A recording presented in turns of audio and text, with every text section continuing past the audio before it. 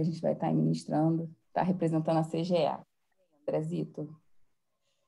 Bom dia, gente. Eu não sou Cristina Guila, né, nem de longe, mas queria só deixar um beijo. Infelizmente, ela não pôde participar, que ela não tem se sentindo mal, ela acha que não é Covid, ela está com os sintomas gripais, mas fez o swap, está esperando sair a resposta, mas se Deus quiser, vai ficar tudo bem. Mas então, queria só deixar um, um beijo da professora Cristina. É, é sempre um muito importante esse evento para ela. Ela é um evento que ela acha muito importante para para o andamento dos programas, para o resultado final, porque depende do preenchimento do coleta, né?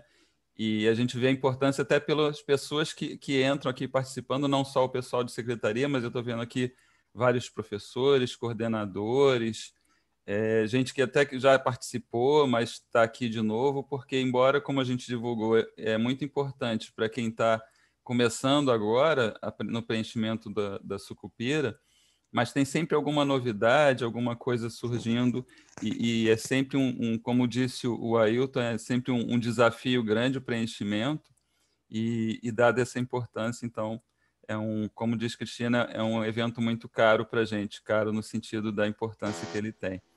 Só, só isso, eu não, talvez, Vivi, eu não possa ficar até o final, porque eu vou ter que sair para levar minha filha para fazer um exame, mas, assim, até em algum momento eu vou ficar por aqui, e o que precisar, estou aqui à disposição, tá bom? Um ótimo evento para todo mundo, gente.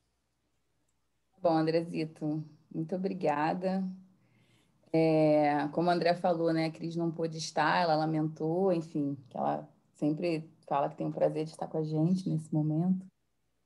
E eu quero, assim, agradecer, mais uma vez, já agradecer a de vocês, né, a gente está aqui para trocar, porque no treinamento, gente, eu sempre aprendo embora esteja trabalhando com sucupira já há bastante tempo, né? Há mais de 10 anos, mais de, na verdade, mais de 15 anos.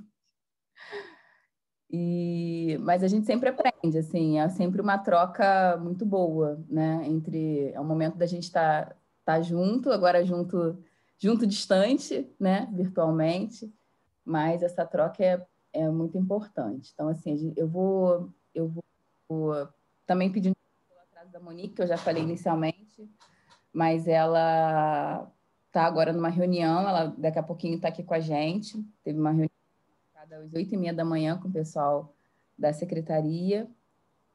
E, enfim, vou, vou iniciar aqui, vou compartilhar com vocês a apresentação. E qualquer dúvida, ao final de cada apresentação, vocês podem ir colocando no chat, que eu pedi a ajuda da Alaine para poder é, para poder estar tá, tá dúvidas, né?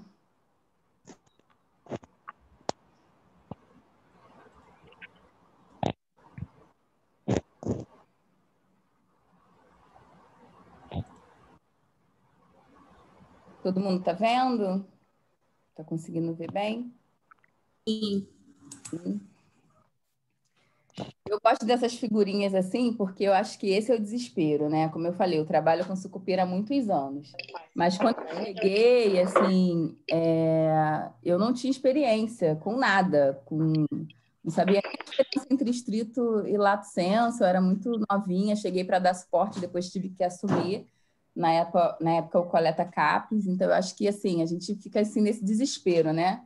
Mesmo estando novo ou já tendo tendo prática, principalmente nesse ano que a gente está vivendo com a pandemia, com todas as dificuldades que é também do, do, do trabalho de home office, on, né, à distância, e com todas as demandas que a CAPES tem demandado para nós, e as mudanças de, de calendário, enfim, então acho que expressa um pouco desse nosso, desse nosso desespero. É, sobre a apresentação, eu ia pedir só para vocês colocarem no chat, porque fica gravado, né? O nome, a unidade, quem já preencheu. E, e depois. Ai, peraí, que deixa eu voltar.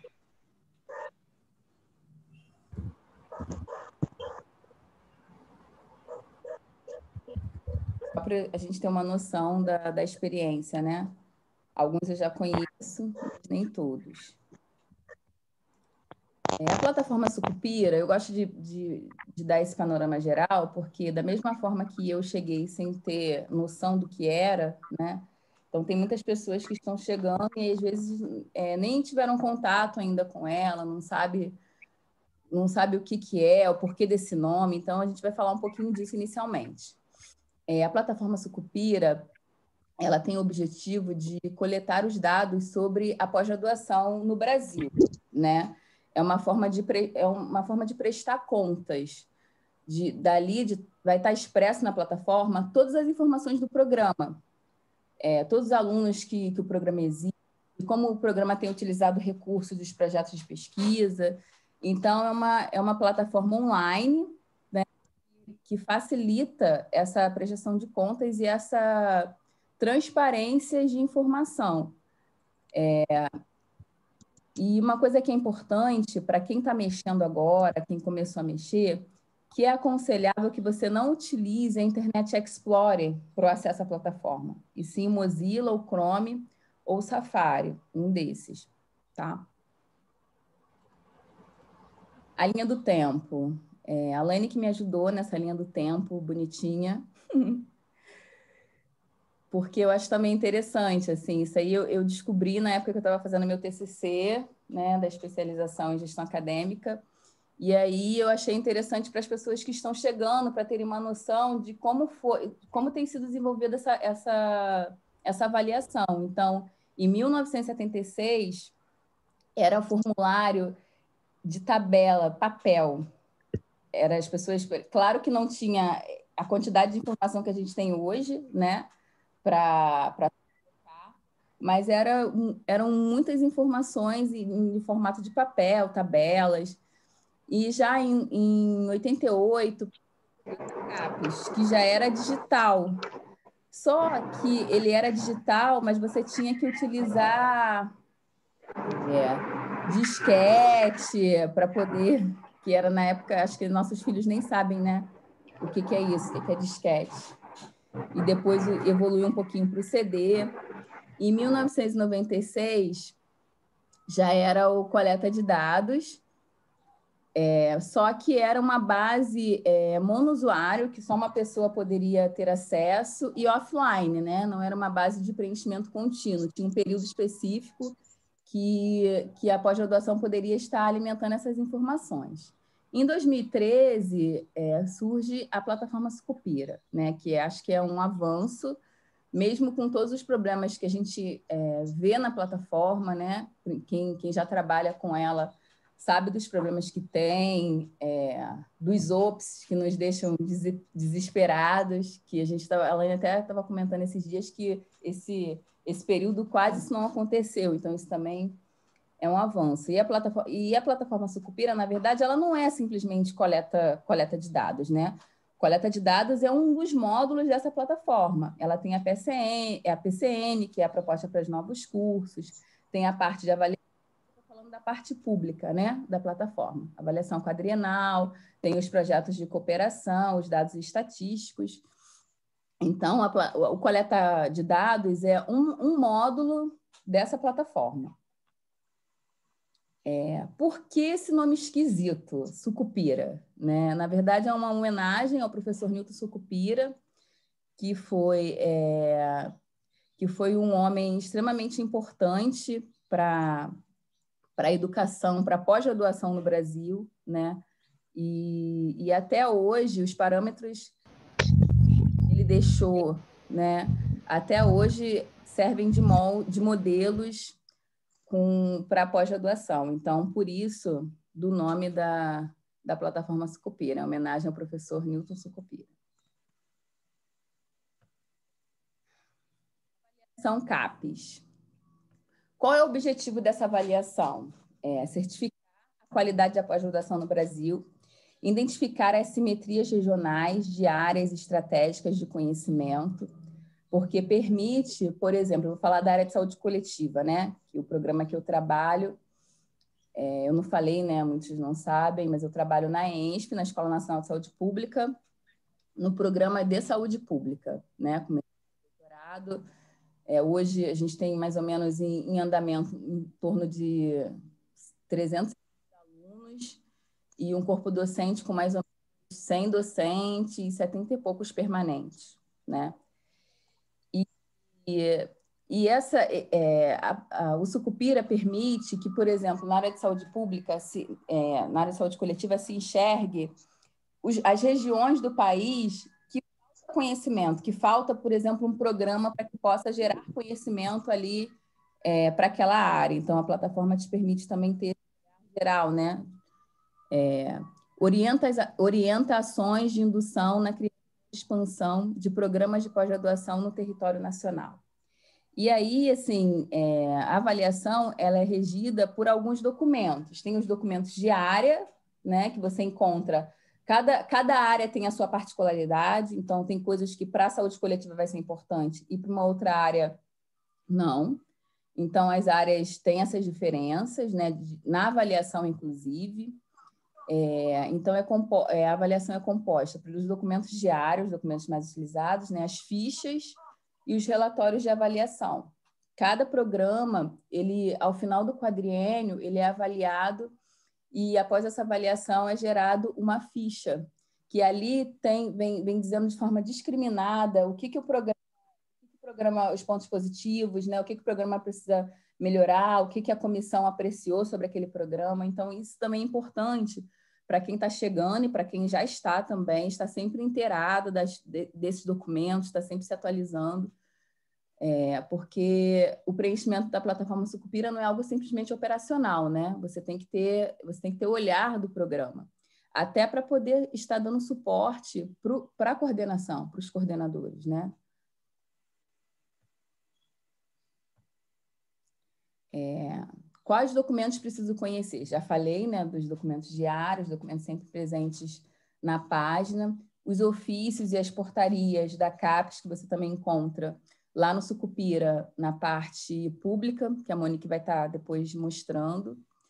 O manual do Coleta Online, para quem ainda tá, é, não conhece o sistema, o manual ajuda bastante. Hoje o manual você encontra na parte pública e também dentro do próprio Sucupira, em portal do coordenador apoio ao preenchimento, eu vou mostrar isso depois. É, tutorial do, treina, do treinamento coleta, que também assim ajuda, tem várias informações ali importantes que às vezes eu mesmo, mesmo preenchendo há muito tempo, às vezes eu vou lá e recorro ao tutorial, né, porque ele é bem dinâmico. Os boletins da plataforma Sucupira, que é interessante também, porque agora eles já têm um tempo, né? Eles não mandam mais, isso fica disponível dentro da plataforma, então é importante pelo menos você ir lá e visitar esses boletins de 2017 para cá, né? Quem não, não, não fez, não, não teve essa curiosidade de, de ter esse cuidado. Já falei de documentos de área, é, ficha de avaliação, e entre outros documentos que às vezes a CAPES encaminha para a CGE e a CGE é, compartilha com os programas. Né? É importante estar sempre inteirado dessas, dessas informações. É, Produção intelectual, né? Hoje a gente vive é, várias mudanças dentro do Sucupira, e uma delas eu vou mostrar depois de forma prática, é, entrando no, no, no, sistema, é a questão da exigência da ficha de complementação para a produção técnica e o anexo quando necessário. É, o, já tem um, um tempo, eu compartilhei, de para o André, o André compartilhou com todos os programas, uma, essa ficha de complementação que nós fizemos em Word para poder dar suporte né, para a gente na ENSP, e a gente compartilhou com todo mundo, mas é, se baseando na área de saúde é, coletiva, porque os programas da ENSP são da área de saúde coletiva, então é importante você olhar o que, que a área exige. Formulário ele, ele ajuda bastante, porque é o espelho do que está no Sucupira, só que a gente teve o cuidado de analisar é, o GT, é, o documento do GT de produção técnica e ver o que que e com, com os documentos da área o que, que era importante para a área de saúde coletiva, né? Então esse documento, como eu falei, está baseado na área de saúde coletiva, mas ajuda bastante. Se depois alguém tiver interesse, basta me pedir por e-mail que eu, eu, eu compartilho com vocês, tá? E a mesma coisa a ficha de livro. Nós também fizemos um documento em Word para nos ajudar, porque você tem que encaminhar isso para os docentes, né, para eles preencherem.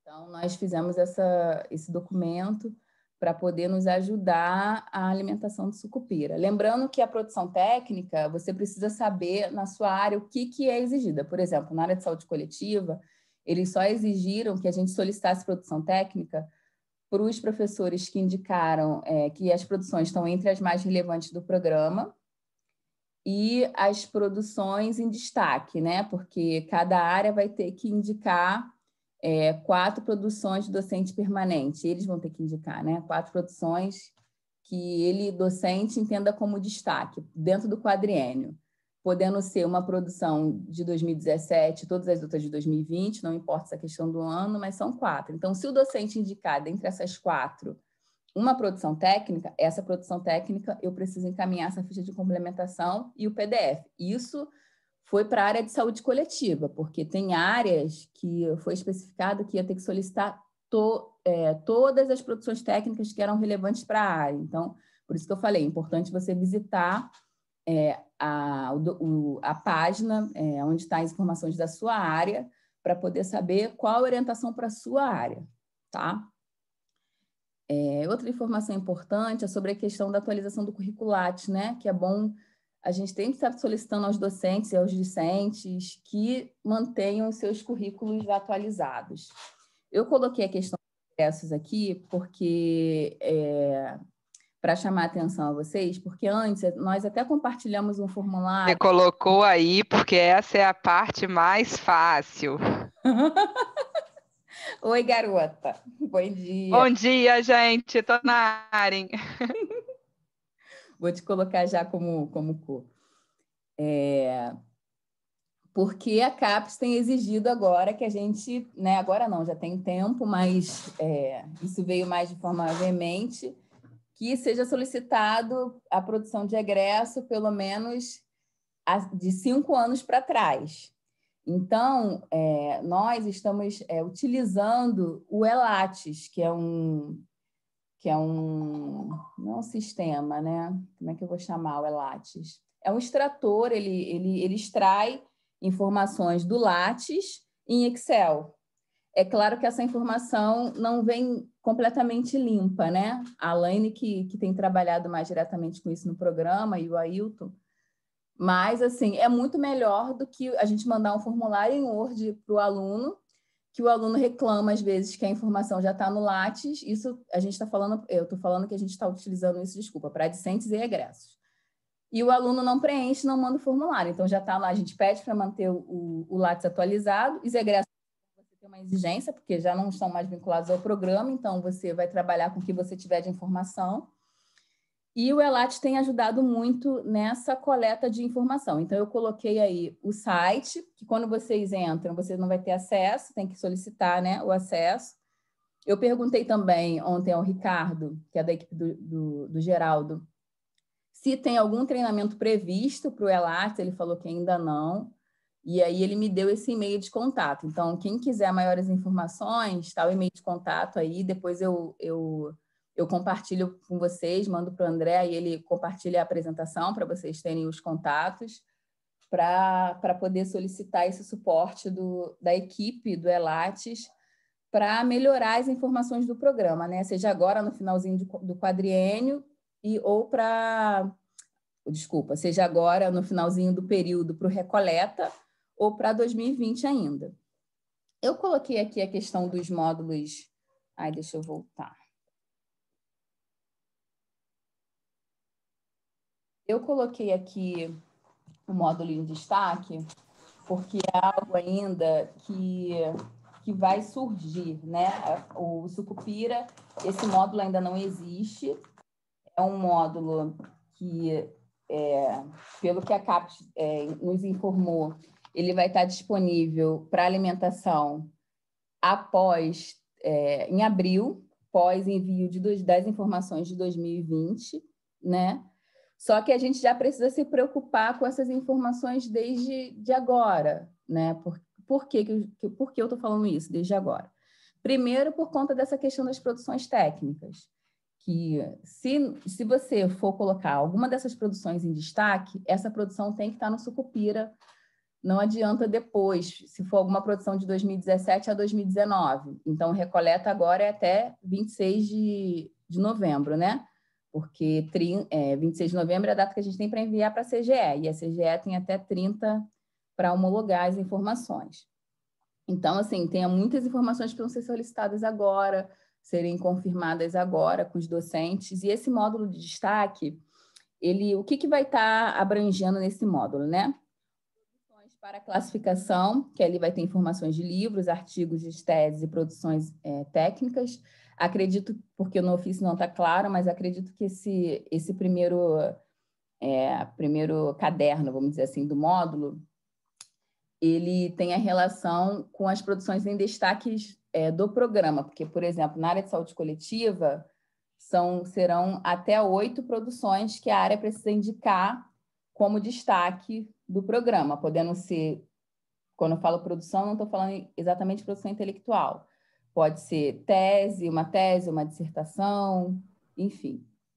É, produções de docentes, né, que eu falei, que são que cada docente permanente tem que indicar até quatro produções dentro do quadriênio, independente, ele pode, por exemplo, indicar, achar que o ano para ele mais importante foi 2020, indicar as quatro produções de 2020. Uma coisa que é importante para os programas que são de mestrado profissional é que tem indicação de produção técnica, tá?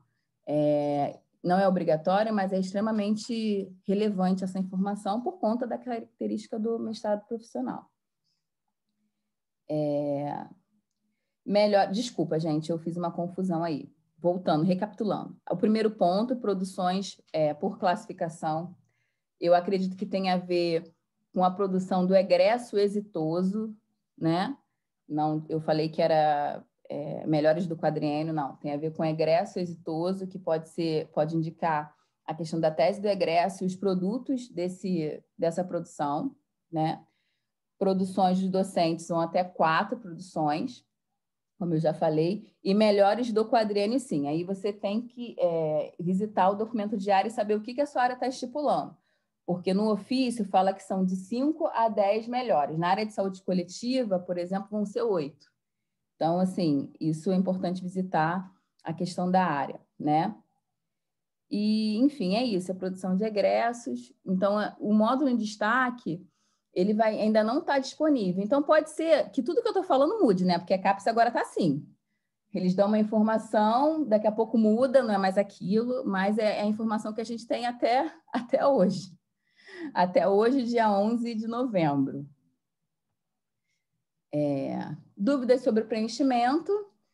O e-mail é o sucupcapes.gov. Está surgindo alguns. Desculpa, Vivi, estão surgindo alguns Oi. comentários aqui no bate-papo. Você prefere que eu te reporte?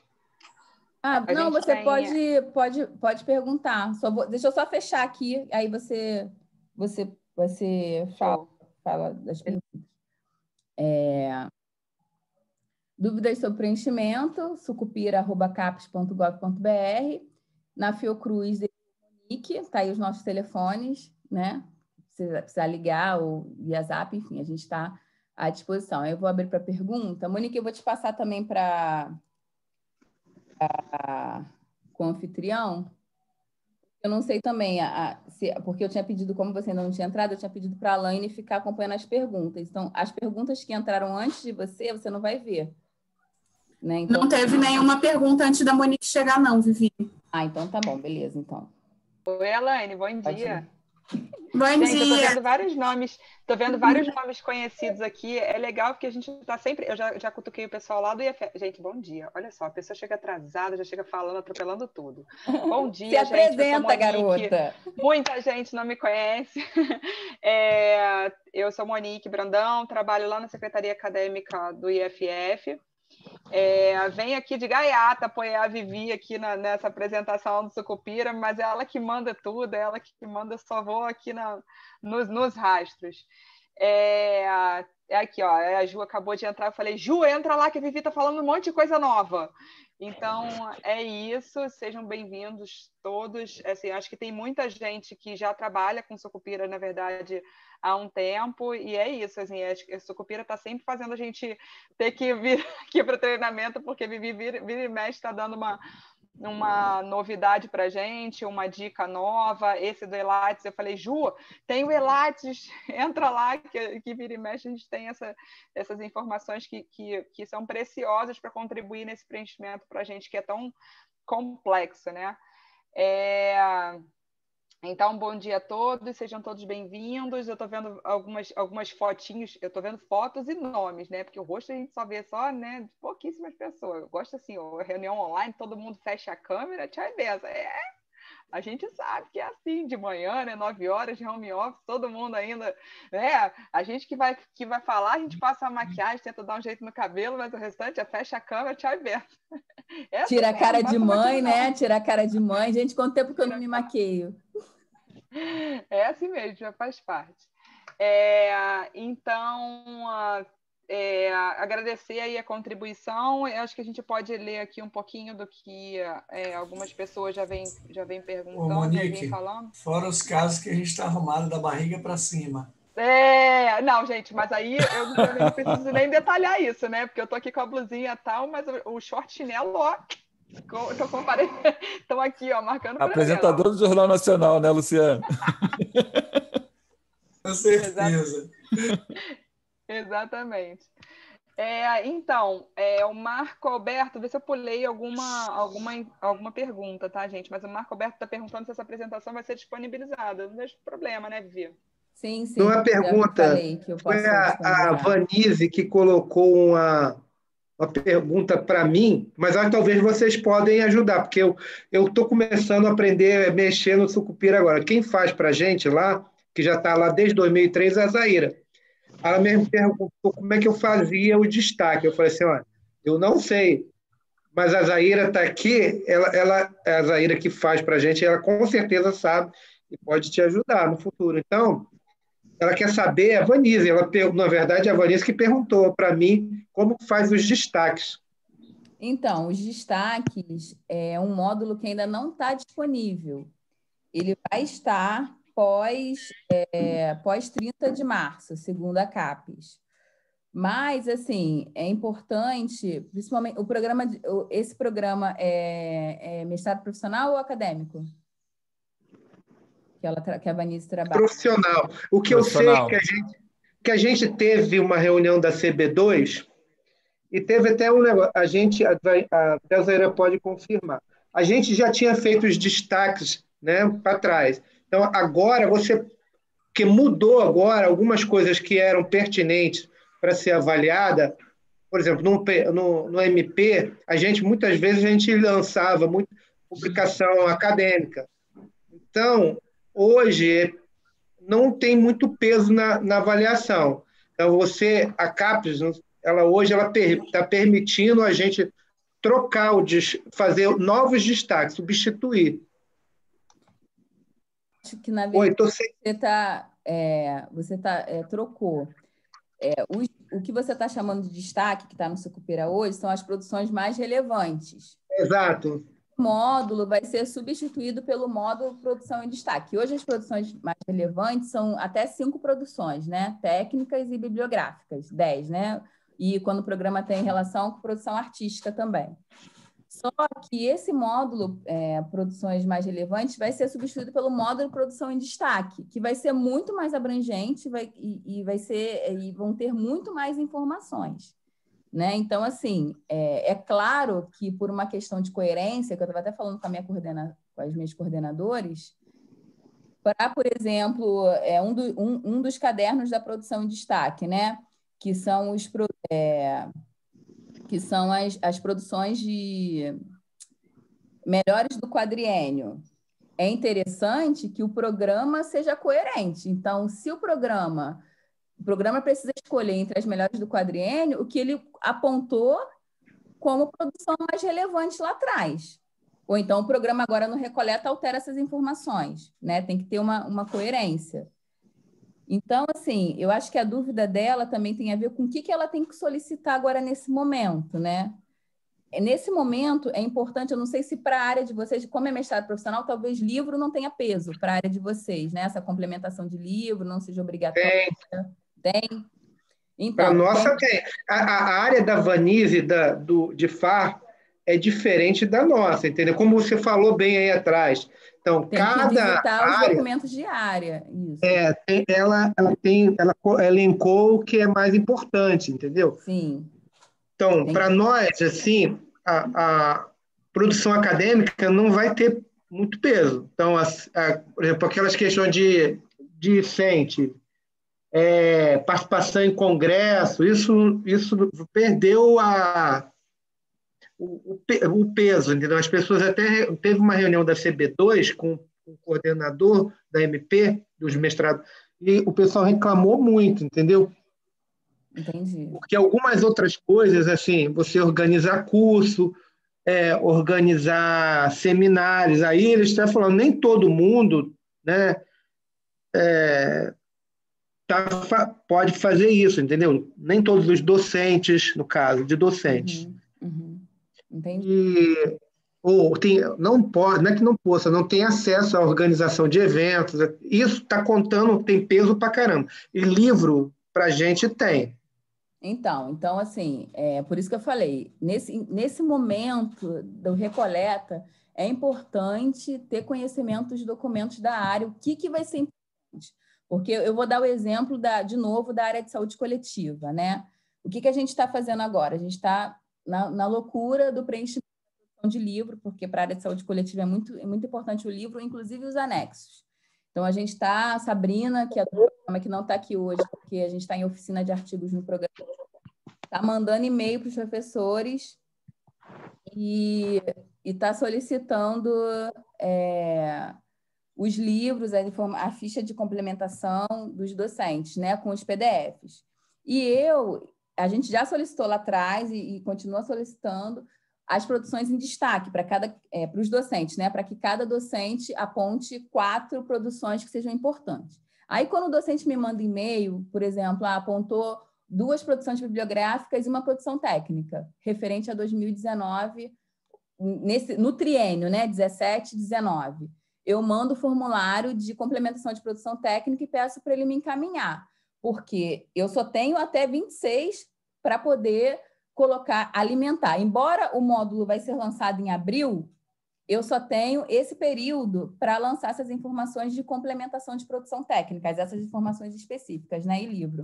Então, a gente está trabalhando dessa forma. Então, é importante que cada programa visite o documento de área para saber o que, que é importante para a área nesse momento de recoleta, porque a gente tem aí pouquíssimo tempo, né, contando feriado, dias da semana, para poder fazer essa coleta e melhorar os dados do, do sucupira. Então, sobre as produções em destaque, são essas. É isso que, para a área de saúde coletiva, agora a gente está nesse momento, entendeu? Podemos seguir? É, o ah, Luciano pondera aqui que a gente poderia ter um canal no YouTube ou em outra plataforma para manter os vídeos. Esse evento conteúdo é valioso e pode até ser visto e revisto por todos. Então, eu até pensei é. Em ver com o André para a gente disponibilizar de repente no campus virtual, né? Como está gravando. Mas aí depois eu, eu vejo com o André o caminho, a gente vê, né, Monique, para poder. Uhum.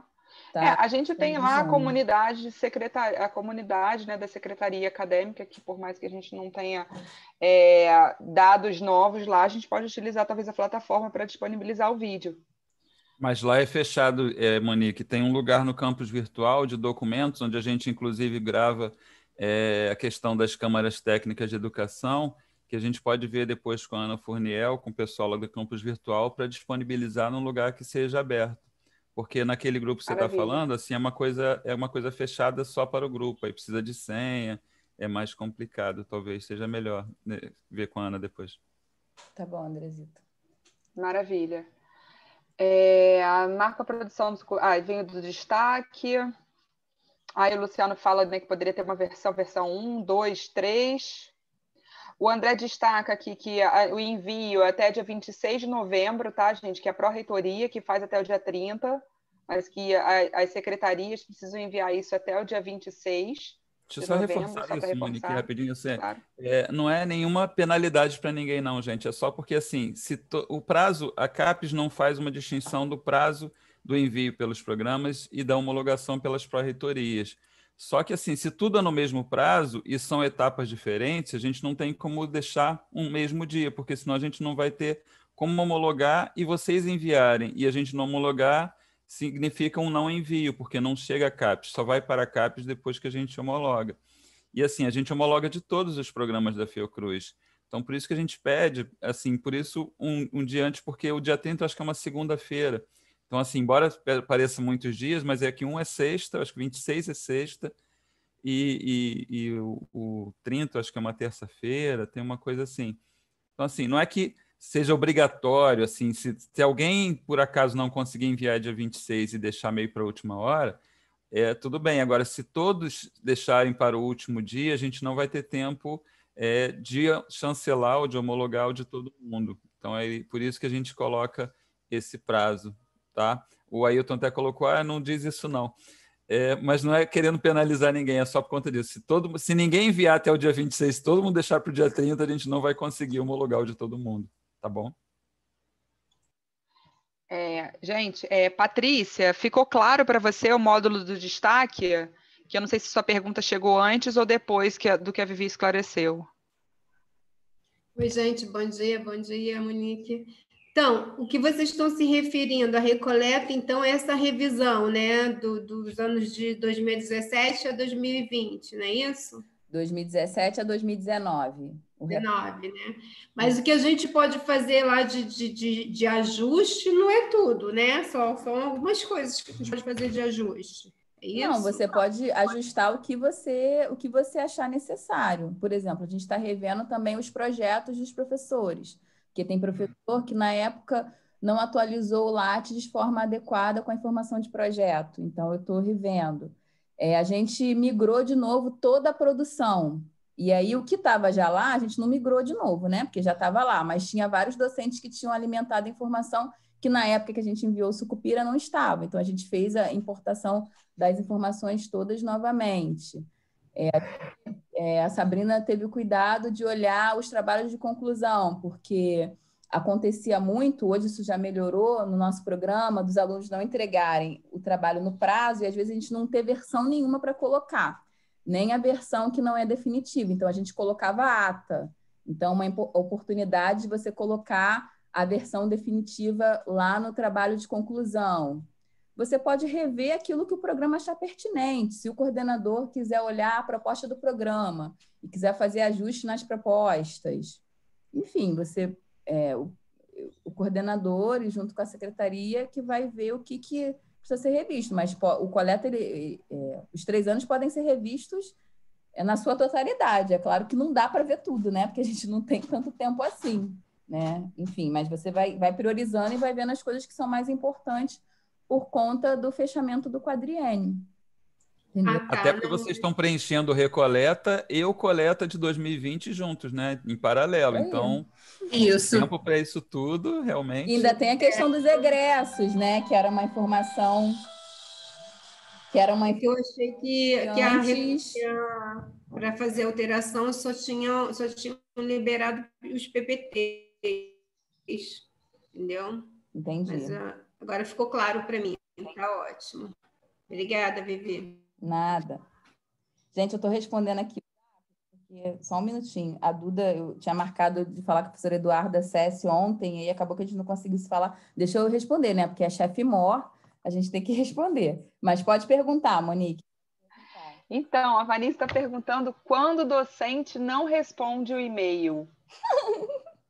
a gente mata ele. Mentira. Gente, Ai, mentira. mentira Corta aí. Descredencia. Putz, é. olha só, eu não é por nada não, mas que tem docente na sala, entendeu? E assim, só para constar que é meu professor, tá, professor? A gente não faz isso não, a gente é bonzinho. Tá? Na verdade, que o docente normalmente ah, lá, ele... de olho, Monique. o docente o quê, Luciano? Tá no Lattes. Tá no Lattes. Esse é o que a gente mais vê. Tá no Lattes. É, e às vezes não tá, né? E às vezes não tá no Lattes. Não, mas é, é, desesperador, gente, porque assim, a nossa fonte de informação é o currículo Lattes, né? E a gente sabe que muitas das vezes a gente tem uma deficiência de encontrar informação que deveria estar no Lattes. Né? E, uh, e aí a gente fica nessa troca de e-mails e a gente já recorre para o WhatsApp, aí daqui a pouco a gente recorre para a coordenação. Ó, mas o WhatsApp, na, numa experiência para o IFF, ele funciona, tá? Às vezes demora, mas ele funciona. Entendeu? Porque o WhatsApp não tem jeito, entendeu? Acaba misturando um pouco da vida pessoal e aí a gente recorre, não, tem, não teve jeito. Com licença, deixa eu falar um instante. A gente, é, a, a Zaira está aqui, que trabalha comigo, ela está aí, ela fica, fica, quietinha, né? Ela, é, eu sou coordenador lá da, do mestrado profissional de bio, né? Também sou docente, e docente de, de dois programas, né, Julimar? Inclusive lá da BCM. A questão toda é que, no caso, não sei de vocês, o Luciano falou do Lattes, está no Lattes, que o, o docente, a gente precisa de informações para alimentar o sucupira que não está no Lattes. Nessa, é, quando a gente, no caso, a gente tem que agregar é, é, um evento, diploma, o cara é ser coordenador de mesa em um evento, a gente precisa do, do, do comprovante, isso tudo a gente, eles estão solicitando que, que a gente anexe essas informações comprova, comprovatórias, entendeu? Então, isso não está no Lattes. E a gente tá, é, ter, a gente inclusive está mudando algumas produções por conta que alguns discentes que não respondem, alguns docentes também que não nos responderam. Então, isso é uma grande limitação, dificuldade nesse novo cenário que, que a, a, a CAPES montou no Sucupira, que a gente tem que agregar essas informações adicionais, que a gente não, não consegue drenar direto do Lattes.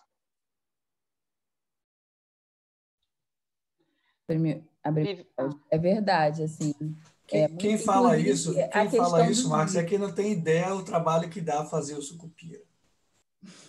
É. é. Eu, eu entendo, eu sei, eu sei que não é só fala, Luciano. Eu estou falando assim que, que as pessoas falam, né? Está no Lattes, mas a gente precisa de, de outras informações. Eu estou vivendo isso, que eu nunca fui coordenador de pós, tá? Eu, eu, eu assumi isso nesse início do, de 2020 e tô, tô sentindo na pele. A gente manda e-mails com frequência, repetida, repetidamente, e as pessoas não respondem. Isso é verdade, assim, é, um, é, um dificu... é, é uma dificuldade que a gente tem, né, assim, sempre, porque, de fato, várias informações, informação de complementação de projeto de pesquisa, porque, por exemplo, financiamento, o docente, ele, ele pode cadastrar, ele cadastra no, no Lattes, mas é uma informação que está pública, no caso, o valor do financiamento, né? Tem um campo de Lattes para você colocar o valor, mas quando ele publica o currículo, não fica público o valor. E o valor é interessante colocar na proposta do programa, principalmente os projetos é, que têm uma maior captação de recurso. Então, essa informação a gente tem que solicitar para o professor, e a gente sabe que às vezes as pessoas têm dificuldade de dar informação sobre dinheiro, né? É, tem a questão que eu falei das fichas, né? A produção técnica é pontual informação. Agora, o aumentou o detalhamento da produção técnica por conta dessa proposta aí para os mestrados profissionais do quali de produção técnica. Então, assim, você tem que mandar uma ficha de complementação para o docente, da mesma forma com os livros, né? Então, assim, Vivia, informação é, pontual. Só travou aqui para mim bem na hora da sua fala, não sei se foi isso que você falou, sobre a informação de financiamento, que é, tem vezes que você não, já não tem, porque a gente às vezes orienta porque esteja lá na descrição do projeto, o valor de financiamento, facilita essa coleta. Né? E aí, quando não está, a gente entra em contato com o docente, quando ele responde, e quando, às vezes, ele responde pode ser que ele te responda de, olha, não tem interesse de publicar não, por, de, de divulgar não o valor do financiamento. E aí você tem, às vezes, um financiamento alto de milhão e você não, não, não despreza isso para a proposta, o que é uma informação valiosíssima para o programa, você despreza isso porque o docente prefere não divulgar o valor de, de financiamento, por exposição, sei lá, por motivo que ele quer, mas, enfim, é uma opção dele e a gente assume. É, e como eu já recebi várias respostas de professores com relação ao PDF do livro, por exemplo, as informações de livro de complementação que a gente precisa, criticando a avaliação, criticando a produtividade, só que assim, é o que a gente tem, assim, A gente não concorda com muitas coisas, mas é o que se tem. E se você não informa de forma correta, o programa é prejudicado, né? Então, isso de fato é um problema que cada programa vai buscando a melhor forma, né, de, de lidar com esse, com esse problema. Eu acho que é mais é sempre o diálogo, tá tentando explicar, né, o quão valioso é isso. Hoje no programa isso já muito do que no passado, porque eu acho que é isso, os professores vão é, entendendo qual é o processo, entendendo né, o que, que isso tem a ver diretamente com o recurso para o programa, com o recurso financeiro para o programa. Mas é sempre difícil, assim, é sempre difícil. Isso é um problema que a gente sempre tem, né? Com a falta de informação por parte dos pesquisadores, e é muito complicado, é bem difícil. Às vezes, a, não atualização do curricular, porque às vezes o, o, o currículo dele está teoricamente atualizado, que ele colocou alguma informação lá, mas não tem tudo de fato que ele faz ali. E aí logo você não tem como espelhar isso para o programa, como importar isso e como cadastrar isso. São problemas que a gente vive aí o tempo todo, né? Próxima pergunta. Vivi, é, só para dar. Eita, peraí que eu me perdi aqui. É, a, Bran, a Patrícia pergunta: a recoleta que a Vivi está se referindo é o quadriênio? Se a gente já, né? 2017, a gente já respondeu. 2019. A Lani também respondeu ali que eu vi. Isso, beleza. E se o capítulo de livro foi cadastrado inicialmente em produção técnica, outros, é necessário re realocar em outra categoria para que seja feita a anexação do arquivo? Como isso deve ser feito? Não entendi a pergunta, fala de novo. Se um capítulo de livro foi cadastrado inicialmente em produção técnica, outros, é necessário realocar em outra categoria para que seja feita a anexação do arquivo? Como isso deve ser feito? Sim, você vai excluir essa produção da produção técnica e vai lá em produção intelectual, bibliográfica, livros Bibliográfica. e vai cadastrar essa produção. E vai precisar dessa ficha de complementação e do PDF para poder é, você colocar as informações e anexar no sistema. Até porque, Lenice, dependendo do seu programa, a produção bibliográfica ela vai ser muito mais valiosa do que essa produção técnica a outros. Então, é valiosíssimo que você faça realmente esses ajustes. Bom, então a Alaine esclareceu de 2017 a 2019. Eu vi ah, respondeu também sobre o Orcid, que alguém perguntou. É, bram, bram, bram. O ORCID precisa estar vinculado no Sucupira, alguns docentes não estão conseguindo vincular. A Alaine também já respondeu, né? Não é obrigatório, mas desejável. Ah, a mulher está sabendo tudo do Sucupira, gente. Ela é, sabe, gente. Está sabendo tudo. É, não é obrigatório, mas desejável. O ORCID é vinculado à Sucupira e à base CNPq. Isso não só para os docentes, não é isso, Vivi? É, para os do docentes, discentes e egressos possíveis, né? se possível. Né?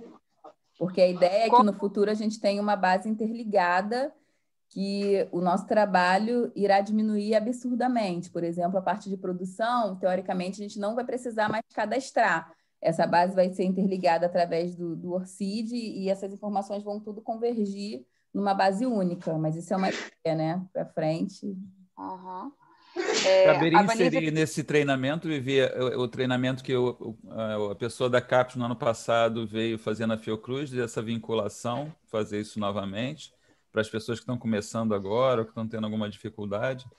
A gente pode tentar, eu só não sei se a gente consegue, faz isso em tempo hábil, entendeu? A gente talvez possa, porque já são 10 horas, a gente nem entrou ainda na plataforma Sucupira. Eu posso ver também se eu tenho o vídeo que ficou gravado daquela apresentação, daquele treinamento, e passar então novamente para as pessoas, de repente, sim, você acha que é uma sim. boa? Acho, acho ótimo. E também, assim, no boletim, eu até anotei isso. Que eu vi que é uma dúvida da professora Vanise. Então, eu, é, eu vou fazer isso, professora, e para todo mundo.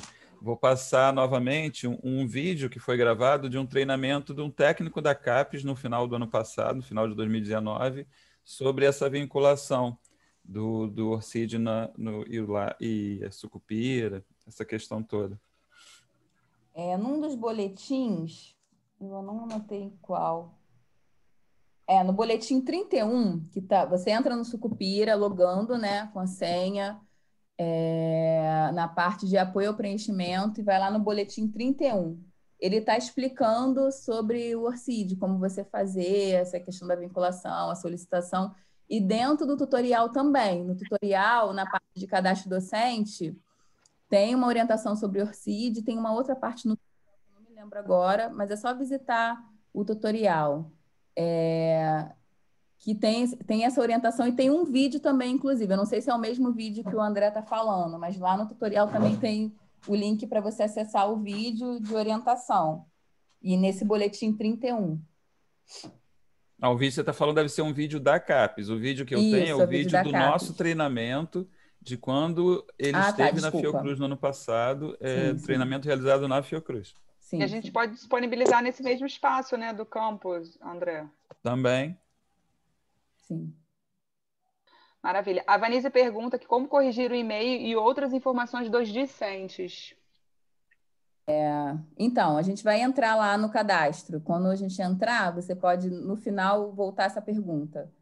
Que a gente vai, eu vou entrar em cadastro por cadastro, né? E vou mostrando. Aí, é, conforme a gente for entrando no Sucupira, ao final do módulo você pode perguntar. É só voltar lá para a gente não se alongar aqui. E aí a gente, eu te mostro. Tá. A Alaine deixou um contato aí sobre a alimentação do Lattes, que foi bem avaliada pelos docentes, deixou um contato, acho que é importante destacar esses. esses da Priscila? Os docentes.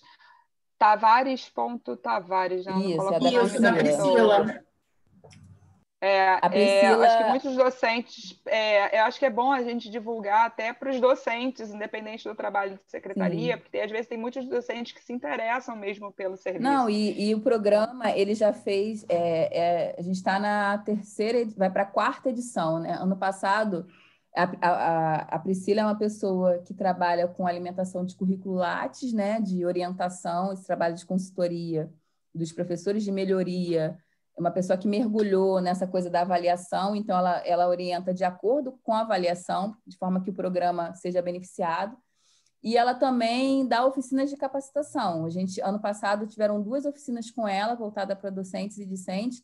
Esse ano nós é, tivemos uma oficina em outubro e teremos uma outra oficina em, agora em novembro de orientação mesmo. Ela entra, ela mostra lá ponto a ponto e vai falando, explicando para o docente onde ele, pro docente, para o docente onde colocar as informações. Ela fala da importância do docente é, é, colocar todas as informações no Lattes de forma completa e ela é ótima, extremamente didática. Uma oficina de quatro horas que vale super a pena para a melhoria da informação do programa. O programa contratou ela para estar tá prestando esse serviço.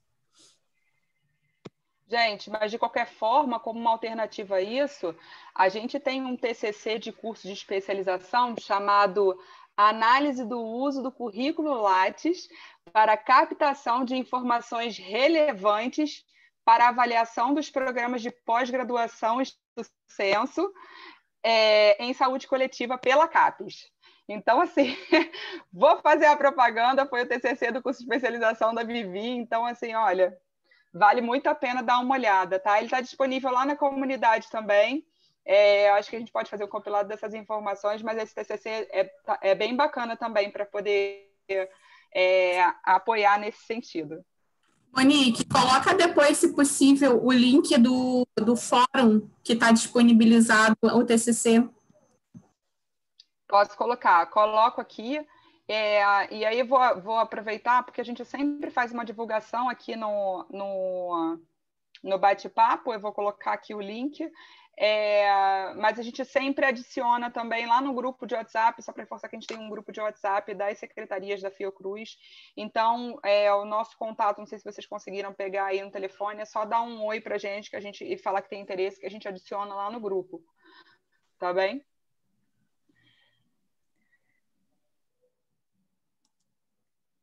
Ah, eu não estou ouvindo você, Monique. Eu fiz alguma coisa aqui que eu tirei o som.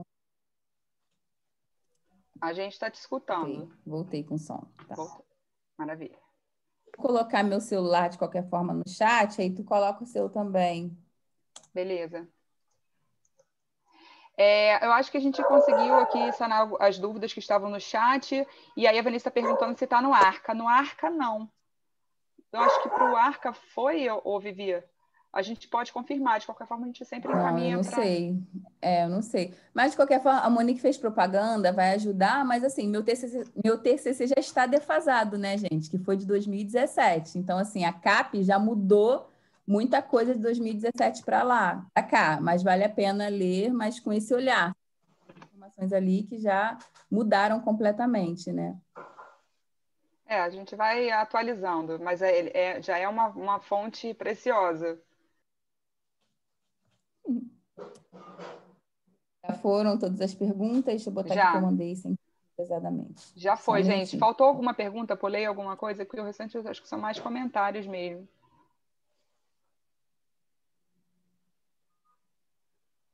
entrei.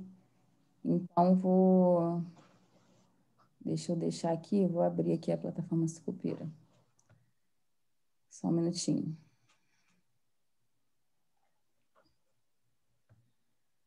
Pessoal, vocês querem um intervalo de cinco minutinhos só para beber água, ir ao banheiro e voltar? Dez minutos, acho, cinco minutos. Acho que é válido, Vivi. Ó, são 10 e 12, 10 e 22 a gente volta, em ponto, hein? Então, vocês podem beber uma água, esticar a perna, comer alguma coisa, tá bom? Oba! Beijo, até daqui a pouco.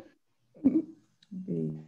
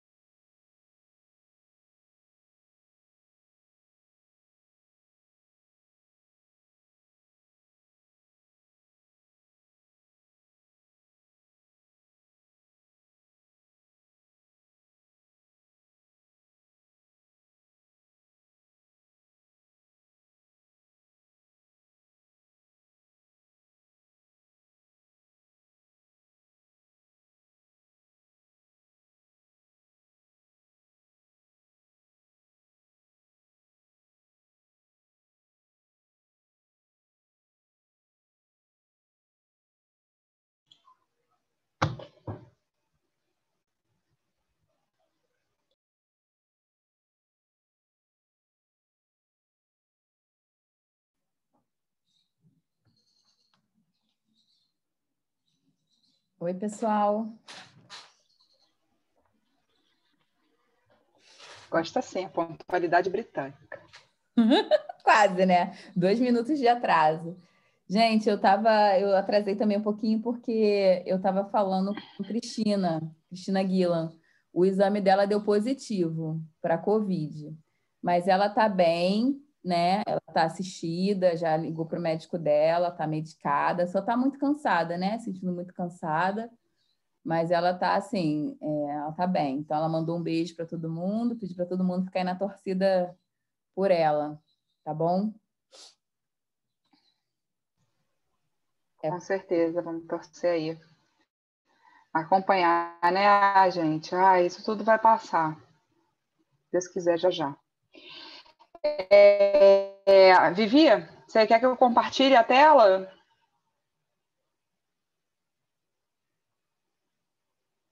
Acho que é melhor eu compartilhar, né, nesse, nesse início.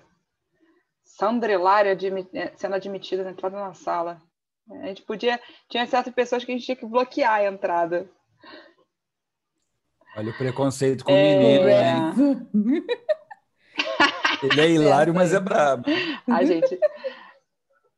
A gente perde amigo, mas não perde a piada. Já te dei acesso é... aí para compartilhar. Acho que eu posso compartilhar aqui, né?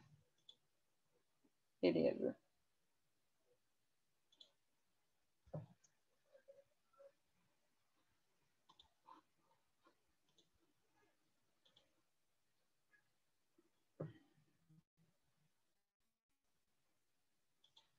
Vocês estão vendo minha tela aí? Sim. Sim. A tela tá. da sucupira, não é isso? Isso. Gente, e aqui tá. Aqui está a nossa plataforma sucupira. É, eu combinei com a Vivi, na verdade a gente vai, é, nosso tempo é curto, também é cansativo, né? A gente ficar em frente à tela, a gente também fica atrás de uma reunião atrás da outra, então eu vou fazer só um, um panorama geral dessa entrada aqui é, passar um pouquinho do, de que de que, é, que, que tipos de documentos a gente pode acessar, porque às vezes a gente tem algumas informações que a gente nem sabe que ficam disponíveis para o público. Então, a ideia é que vocês tenham, é, é tenham só uma ciência, um, um panorama disso aqui. É, então, a gente tem vários itens, né, vários tópicos. A gente, aqui a gente tem conheça a avaliação, para a gente entender o que, que é a avaliação Sucupira. Então, é, é, por quais áreas a gente, a gente caminha, fala sobre os documentos, qual é a legislação pertinente, portaria de homologação, quem são os coordenadores. Então, a gente tem todas essas informações aqui. Os cursos que são avaliados e reconhecidos, a gente consegue é, ver quais são os cursos por área de avaliação, por nota, por região. A gente pode fazer toda essa, essa, é, essa busca. Aqui, o nosso DataCaps coleta com, com, as informações que já foram enviadas anteriormente. Então, é, a gente consegue acessar o que a gente já enviou em 2019, 2018, todo, qualquer pessoa, às vezes um, um é, você quer entrar no programa, um candidato quer, quer se candidatar ao programa, ele vai lá e vai poder ter acesso a todas as informações do programa, de corpo docente, tudo isso eles conseguem entrar aqui com a informação do Coleta CAPES, tá vendo? A gente coloca aqui, diz qual o ano é a instituição que a gente se refere que a gente consegue obter todas essas informações, né, com os resultados da avaliação por programa de todos, é, aqui para submissão de cursos novos, então se o programa quiser abrir se, se a área de educação quiser abrir um novo programa para submeter aqui nesse APCN, também tem um período para que seja é, submetido. Para projetos de cooperação entre as instituições, também a gente tem esse tópico. Aqui, do Qualis periódicos pra, é, disponível é, para consulta na plataforma Sucupira. Então, todos os programas têm os seus Qualis, é, todas as revistas, é, a, gente pode a gente pode consultar lá se é A1, B1, então a gente tem todas as informações atualizadas aqui do Qualis. Tá? E os dados estão nota 7, quando são nota 6, 5, por região. Aqui tem uma, algumas informações bem preciosas para pesquisas, levantamentos de informações. Eu mesma, quando fiz um, um, na minha dissertação de mestrado, eu utilizei muito isso aqui para poder fazer é, esse levantamento, essa comparação de informações.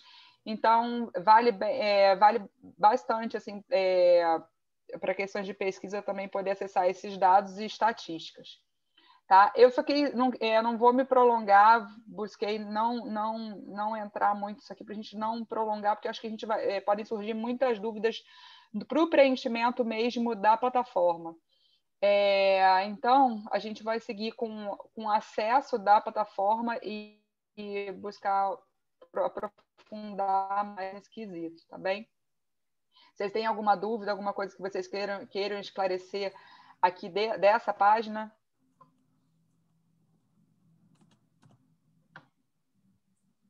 Acho que não, né? Eu não consigo, como eu estou com a tela compartilhada, é, mas eu vi aqui que não tem. Porque aqui é bem, mesmo de consulta mesmo, é, é, é, de consulta mesmo ao público externo, ou então para o coordenador, às vezes quer, quer fazer uma consulta a nota de algum programa, alguma informação que foi enviada anteriormente, também tudo pode ser realizado aqui por aqui.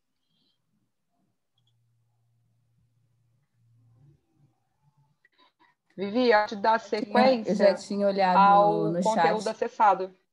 Ah, eu já tinha olhado no chat, não tinha pergunta, não. O Ailton até compartilhou é, né, um documento em PDF sobre a questão da vinculação para poder ajudar a questão do ORCID, né? Que alguém, algumas pessoas tinham perguntado. Ele compartilhou aí no chat. É, então tá bom. Eu não, gente, eu não sei se é a minha internet que está ruim vocês estão me ouvindo bem? Está travando? Porque, por exemplo, Monique congelou para mim. Ouvindo bem. Minha internet está tá oscilando. Então, qualquer coisa, vocês me ensinam. Tá, só uma questão. Fala. É, o meu, o meu já, o meu já apelei, apelei aqui para o 4G, que a minha internet também está super instável. Então, eu estou no, no limite aqui. Mas compartilhei lá no chat, gente, o, o acesso à comunidade de secretaria acadêmica no, no, no campus virtual, tá? Se vocês quiserem acessar, também encaminhei o link lá no grupo do fórum, é, no, no grupo das secretarias. É, e quem tiver interesse em entrar no grupo, é só mandar um zap no privado para mim ou para Monique, solicitando que adiciona lá no grupo, tá bom? Dos secas. É, então, vamos lá, vou compartilhar aqui.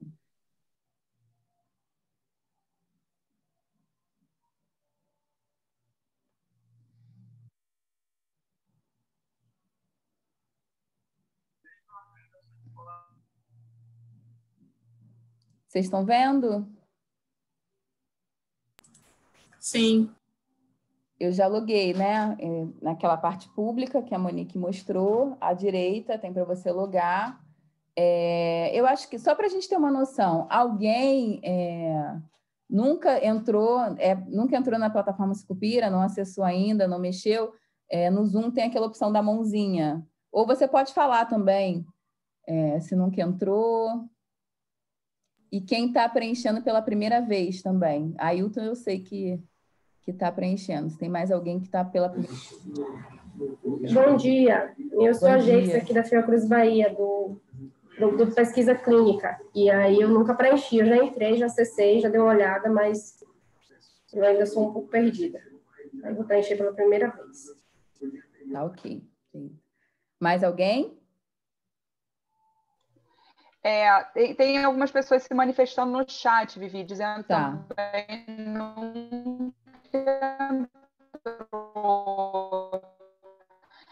é, a gente tem sempre esse corpo se renovando, a questão de curiosidade mesmo, se vocês são da secretaria, coordenação de programa, para a gente ter uma ideia também é, de que forma a gente vai guiar isso.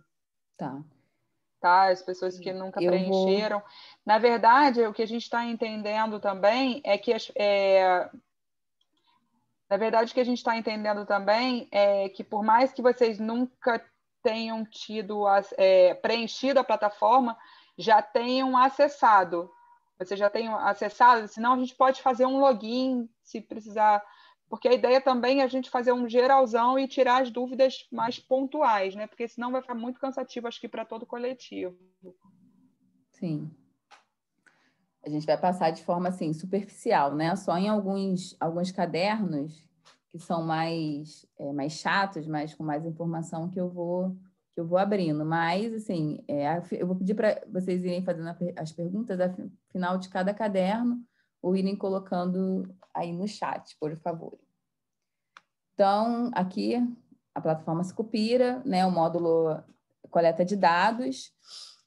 Vou começar por aqui, pelas ferramentas, pelas possibilidades de, de caminho que tem né, na, nessa barra de, de ferramentas. É, aqui você pode navegar por todas as informações de Sucupira. Por aqui, programas, pessoas, produções acadêmicas, ou por aqui, né? Tem essas duas possibilidades. É, o campo de solicitação, a gente vai vendo, é, acho que ele melhor no decorrer do treinamento. Porque aqui, por exemplo, às vezes a gente tem a situação, vou só citar algumas situações para vocês, de um periódico que, porventura, você foi cadastrar ou migrou e apareceu lá na verificação de erros e ele não está, você não encontra ele no Sucupira porque esse periódico ele ainda não foi avaliado. Como é que funciona o Qualis, né? Os programas alimentam as informações sobre os periódicos, sobre a produção para a CAPES, envia, e após essa informação, a CAPES avalia para poder lançar o um novo Qualis, né? Então, assim, é, as informações são sempre atrasadas, vamos dizer assim. Então, o que você tem ali de informação foi que foi enviado no quadriênio passado, né? Então, por isso que é importante quando, quando você. É, por isso que às vezes acontece de você cadastrar um periódico e não, e não encontrar. Aí basta vir aqui, cadastro de veículo, solicitar, aí você vai colocar o número do periódico, é, o nome, o título da revista e a justificativa, que é que você não encontrou ele na base de dados. Aí você tem que homologar essa informação, entrar de novo com o CPF e o, e o e a senha do coordenador, né? E aí a CAPES, depois que esse, que esse, que esse periódico for cadastrado ou que a CAPES aceitar essa solicitação, ela vai mandar um, um e-mail para o e-mail do coordenador informando que está ok. Aí você vai poder vincular o periódico, esse periódico lá. A mesma coisa é com cadastro de financiamento e financiadores. É, em que momento, ou cadastro de programa de fomento externo. Em que momento você precisa dessas informações? Geralmente é em projeto. Quando você está cadastrando um projeto de pesquisa, e aí às vezes você vai procurar um financiador ou um, um programa de fomento e você não encontra, você tem que fazer é o mesmo procedimento. Você vai entrar lá, vai solicitar, né? vai precisar de, uma, de um, várias informações detalhadas, que você pode ver depois entrando com calma é, no sistema, acessando e com esse suporte tutorial, não tem mistério, só dá um, a nível de esclarecimento a diferença entre cadastro de programa de fomento externo e cadastro de financiadores. É, é, programa de fomento é, por exemplo, a CAPES, e o cadastro do financiador seria é, os editais que são lançados, por exemplo, PNPD, entendeu? é, nesse, é, nesse sentido, ou a FAPERD, e aí o cadastro de financiador seria é, Bolsa FAPERD nota 10 se não tiver cadastrado, mas o, o, o programa de fomento é a FAPERD, só para ter clareza no, na diferença entre esses dois pontos, que isso também está lá no tutorial, essa diferença, né? Tem um, um campo lá de atenção para você ter, ter clareza sobre essas informações. Desativar mudança diária, aqui tem uma gama de, é, de possibilidades que você pode, às vezes o programa tem necessidade de, de, de, de utilizar, né? É isso, sobre solicitações. Importação eu vou falar depois, porque a gente vai falar de produção intelectual. Então, no campo produção intelectual, eu vou falar sobre a importação. Aqui que eu falei sobre o apoio ao preenchimento, que aí você tem ao manual né, do coleta, que é uma informação bem detalhada, manual online, tem o manual das propostas de cursos novos, né, que a PCN está suspensa, mas aí programas que tenham interesse futuramente, né, assim que reabrir, para submeter, aqui tem um manual para propostas de cursos novos. O tutorial que eu falei, que é assim, até quem já tem experiência com tutorial tá, está acessando, né? Para poder navegar, porque às vezes eu, que já trabalho com tutorial muito tempo, eu visito. É, eu visito o tutorial para poder tirar dúvidas, né? Então, assim, é importante ter esse visitar esse, esse tutorial. E os boletins também, que eu dei exemplo até de alguns boletins, né? Do boletins é, do boletim 31 sobre a questão do ORCID, né? Enfim, tem alguns boletins que têm informações preciosas ali. Então, se você puder visitar os boletins, principalmente os de 2017 para cá, porque está dentro desse quadriênio, é interessante também dar uma olhada nesses boletins. É, submissão de projetos de cooperação entre instituição.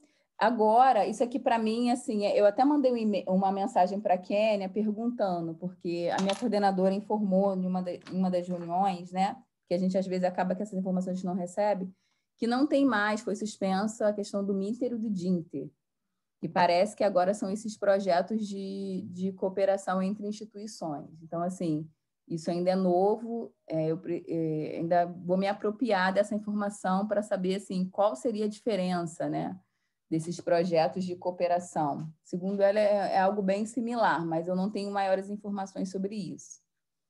É, resultados que é, por, antes, quando tinha o Minter o Dinter, você submete o Minter o Dinter por aqui, pela sucupira. E aqui o resultado é para você também ter é, as informações sobre esse curso posteriormente. Aqui você acompanha, se saber se o curso já foi, se já foi homologado, tudo é pela, pela plataforma Sucupira.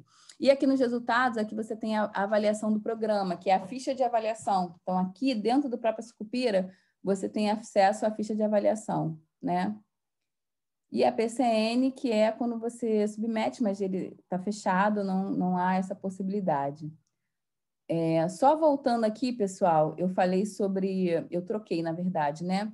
Cadastro de financiadores e programa de fomento, é o contrário. É, a Laine me chamou a atenção, minha fiel escudeira.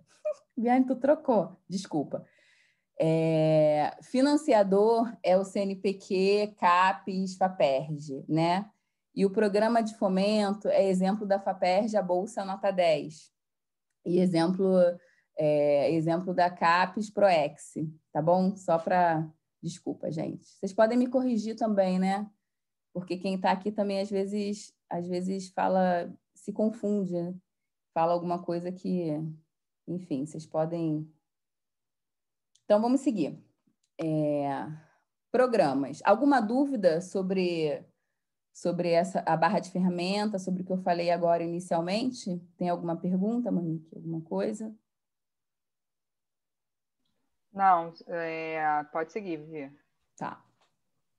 Programas, né?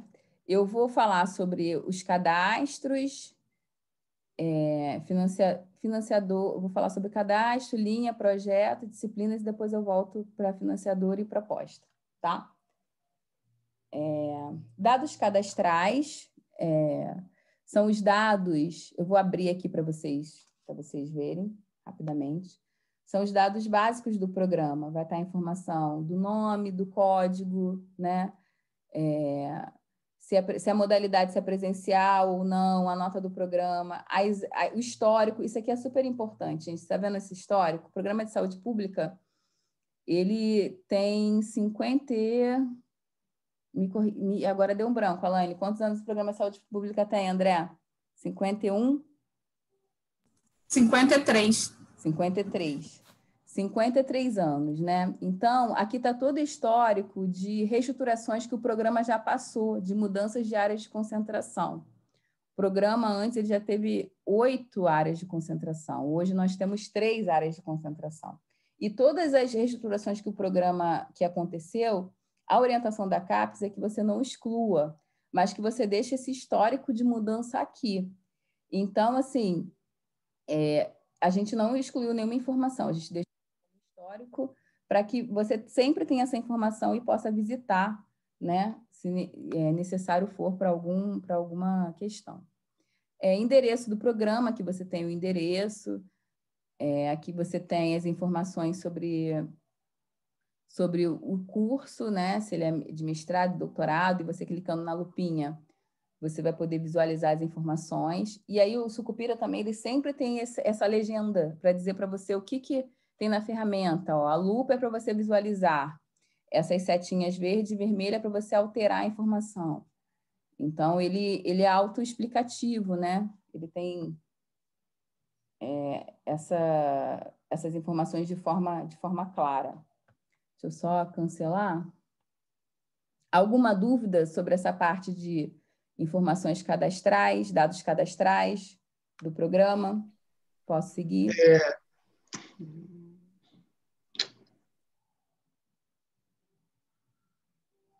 Sim, alguém ia falar? Não? Posso seguir? Então? Marco, tem alguma dúvida? Já achei aqui, já. Entendeu? Era, uh, já me encontrei. Tá, eu estou muito já... rápida, gente. Estou falando muito rápido. Não, tá tranquilo. É porque eu me despecei aqui, que a gente fica mexendo no vendo o e-mail que está chegando. Então, eu, numa dessas, eu me perdi. Tá? Desculpa. Não, que isso. Tá a Vanessa está perguntando quando muda a linha de pesquisa, precisa alterar? Então, eu vou chegar lá em linha de pesquisa. Todas essas mudanças que vão é, que são é, relevantes para o programa, é, eu, vou eu, vou mostrar para vocês os caminhos, né? Onde, onde, onde faz essa alteração, por exemplo, eu mostrei lá em solicitação da questão da mudança da área, né? Se acontecer do programa mudar de área, mas é importante sempre estar indicado na proposta do programa, tá? Isso sempre está se justificando na proposta do programa essas mudanças. Quando eu, eu vou, acho que eu vou passar agora para linhas, eu vou mostrar como é que faz essa mudança, que a gente também vai viver isso no início do quadriênio, em 2021. O programa vai estar se reestruturando e vai mudar também essa questão das linhas. Isso já aconteceu no início, no programa de saúde pública, em 2017, a gente passou por uma reestruturação também e houve mudanças de algumas linhas. E aí, essa, essa mudança, ela traz problemas significativos por dentro do sucupira, né? É importante essas alterações serem feitas no início do quadriênio, não no meio. Por quê? Porque no Sucupira, que eu vou estar mostrando para frente, a gente faz as vinculações, né? Por exemplo, produção, ela tem que estar vinculada a uma linha, a um projeto de pesquisa, área de concentração, os trabalhos de conclusão também. E aí, quando você muda a linha, isso, se estiver vinculado lá a uma produção, isso vai mudar essa produção que está vinculada também vai dar erro, vai, dar uma, vai gerar uma série de erros dentro da plataforma que você vai precisar corrigir mas é, a fim de mudança vai se justificar na proposta do programa a mudança dessas linhas e, e, e essas mudanças serão feitas aqui. É, você uma linha nova, se for a mudança da seguinte forma, você vai é, a linha antiga não existe mais. Você vai vir na linha antiga, setinha, alterar e você vai colocar a data de fim dessa linha terminou em data tal. E com isso, uma nova linha, você vai precisar cadastrar uma nova linha. Você vai vir aqui, ó, cadastro de linha de pesquisa. E vai cadastrar essa nova linha, que ele pede informação. Deixa eu abrir só para vocês verem, terem ideia de qual tipo de informação que é solicitada. É o nome, a data de início, a data fim, você vai deixar em aberto, né? Porque essa nova linha, ela começou agora. A descrição, que tudo no Sucupira, com relação a campus que é aberto, para digitação, tem limite de caracteres, tá, gente? Sempre está atento a isso. Ó. Aqui é 4 mil caracteres. Eu só não me lembro se conta espaço, ou se é com espaço ou sem espaço. Isso aí eu não lembro, aí teria que ver, tá? Mas sempre tem esse, essa, essa questão e vincular uma área de concentração, né? E aí eu vou entrar na, em uma linha nossa que aconteceu essa mudança. Vou só clicar aqui.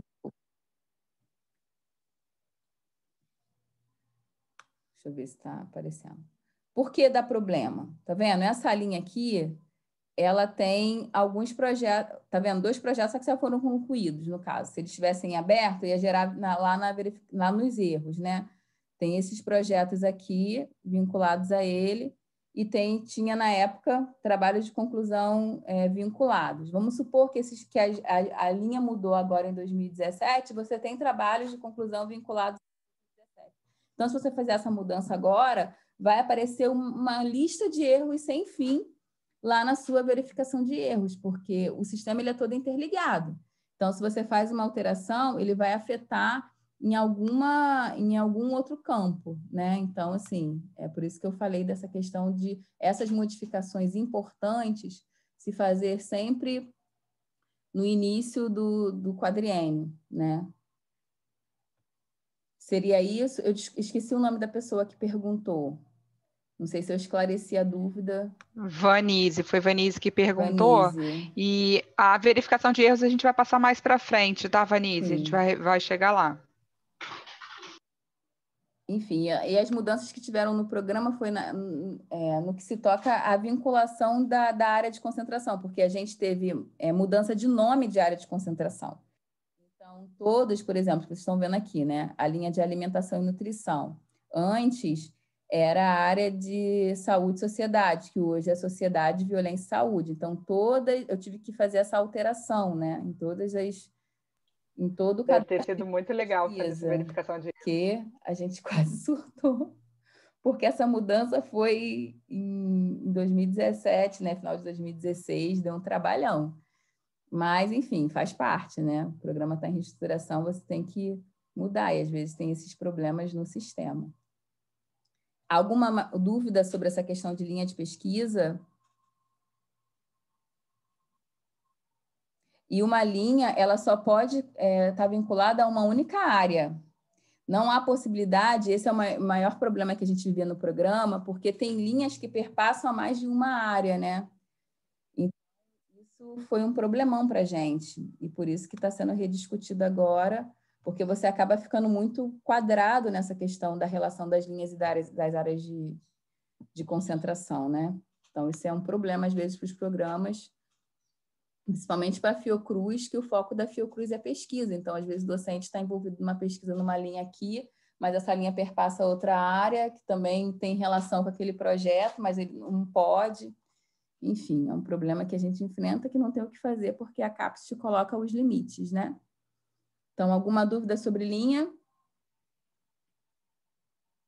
Não? Posso seguir? Tá. Projeto de pesquisa. Eu vou, eu vou abrir o projeto porque alguém ia perguntar alguma coisa?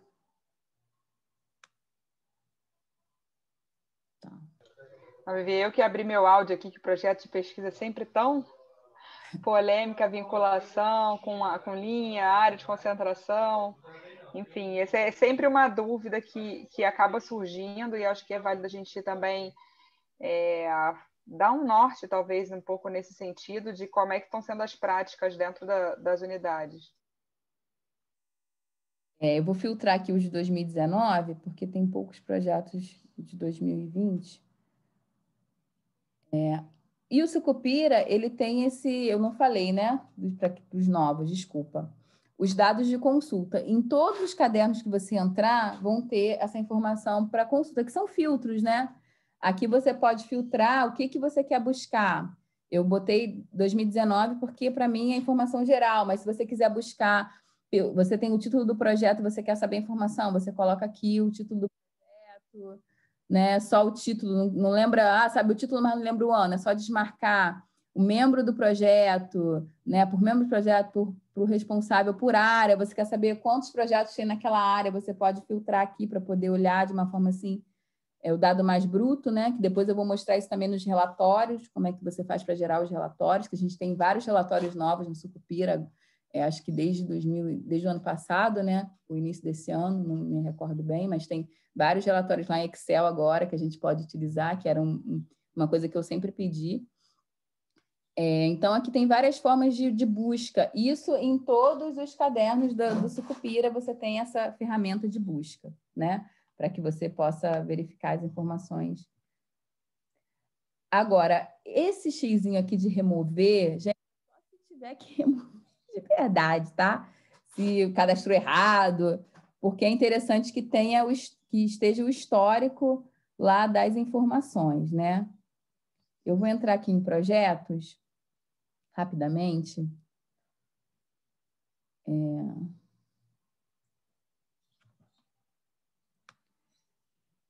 Então, que eu falei da, da questão do quantitativo dos campos, né? As informações gerais de projetos, data, linha. E aí, uma informação muito comum que a gente, um problema muito comum que a gente tem em projeto é porque às vezes acontece de um participante externo encerrar a participação, você foi lá, encerrou a participação dele no programa, ou um aluno defendeu a tese, ele era vinculado ao programa, eh, desculpa, ele, o aluno eh, defendeu a tese, mas ele, como egresso, ele continua vinculado no projeto, né? E aí, ele, o Sucupira ele te dá erro, porque, por exemplo, você, o, ele era aluno e ele defendeu, você tem que vir aqui, botar a data fim, a data de titulação dele, cada, é, e vincular ele como egresso de novo com a data de início, a data posterior, a data fim dele no, como discente, entendeu?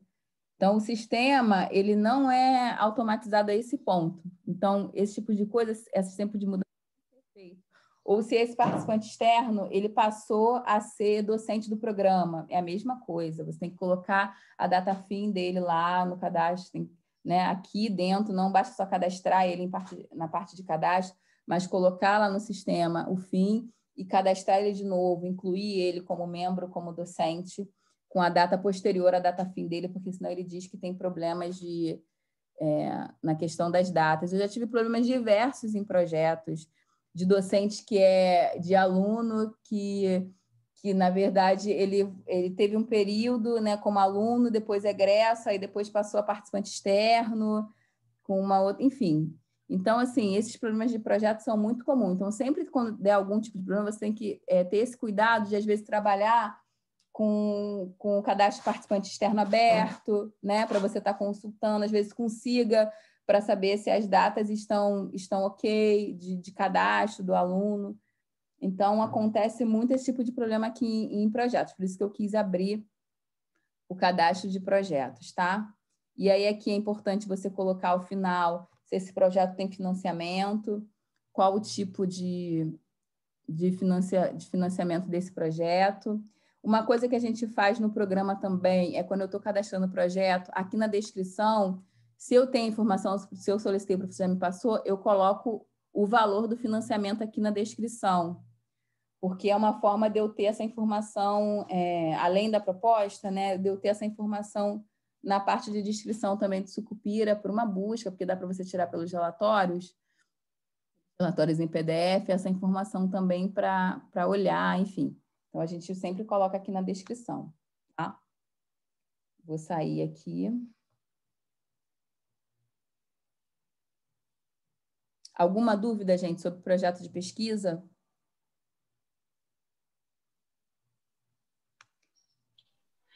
É, só para retomar, o Vivi, esse projeto de pesquisa aí, essa fala de vinculação, porque ao final, é, isso lá numa prática do IFF, né, a gente faz uma vinculação desses projetos às linhas de pesquisa, né, às linhas de pesquisa e às áreas de concentração. Sim, isso é sempre isso é sempre uma polêmica, assim, né, porque é, isso vai variar também de unidade para unidade.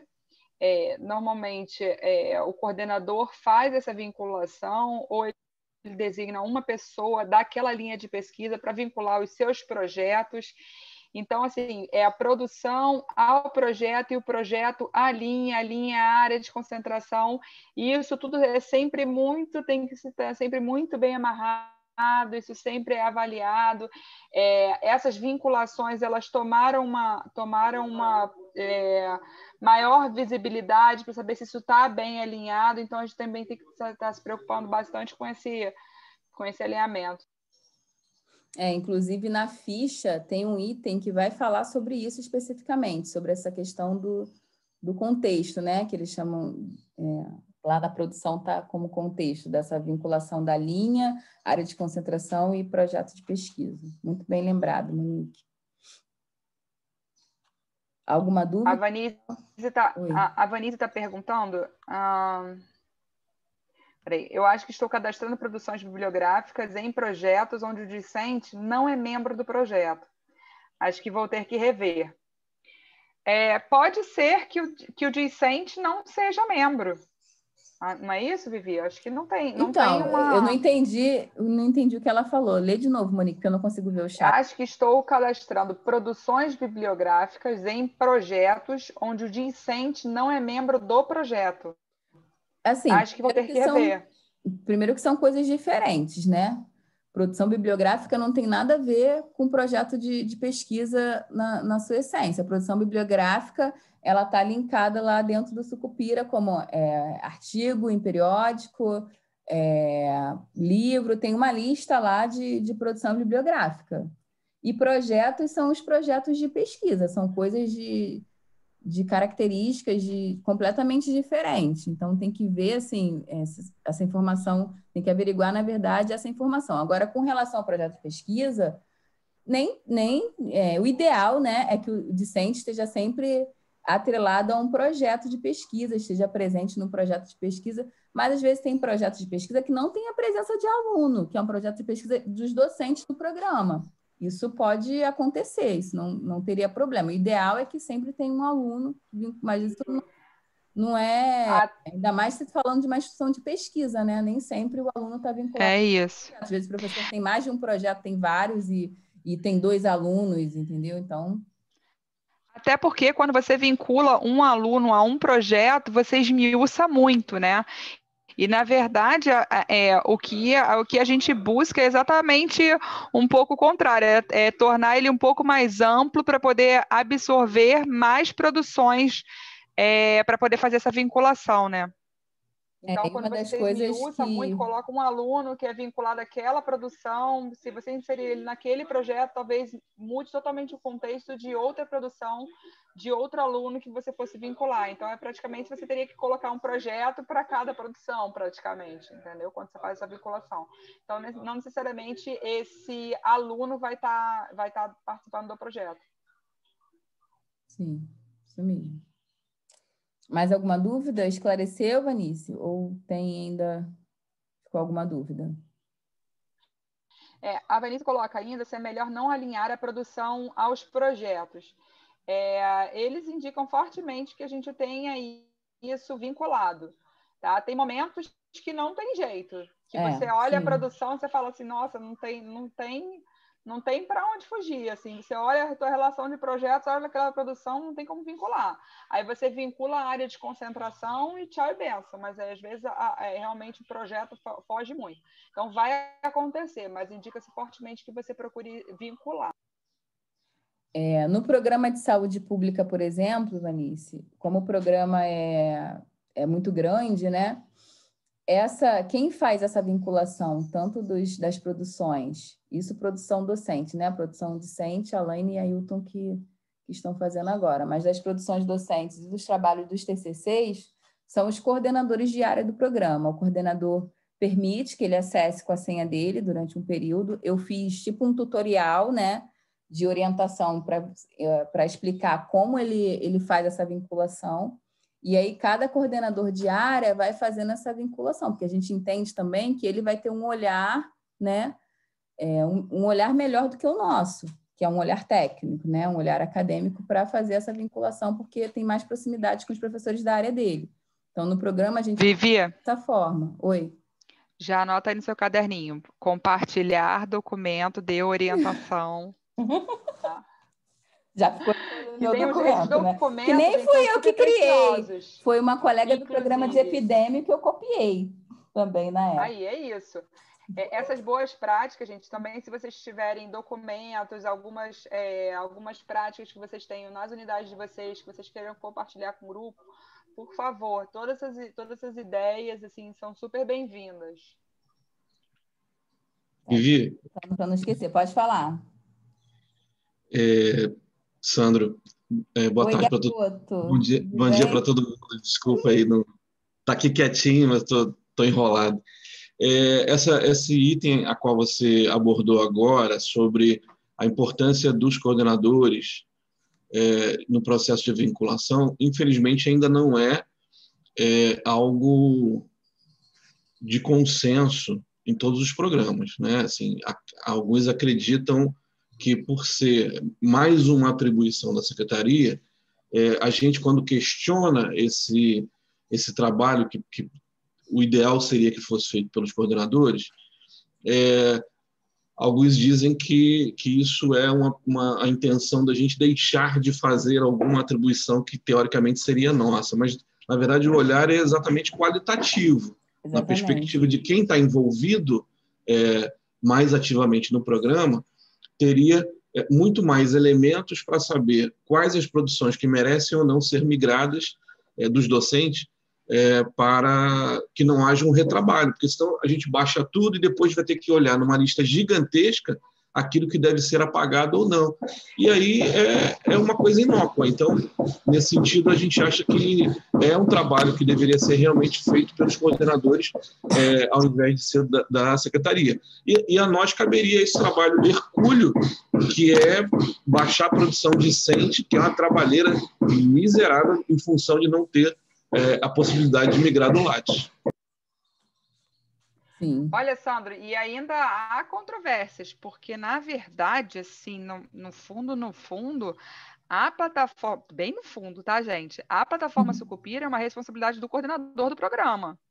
As secretarias, ela, elas, as secretarias, elas apoiam a alimentação né? Porque a gente entende, claro, que, o, que os coordenadores existem, é, tem, possuem diversas outras atividades, então as secretarias acabam por apoiar dentro da sua organização, é, por apoiar muitas coordenações.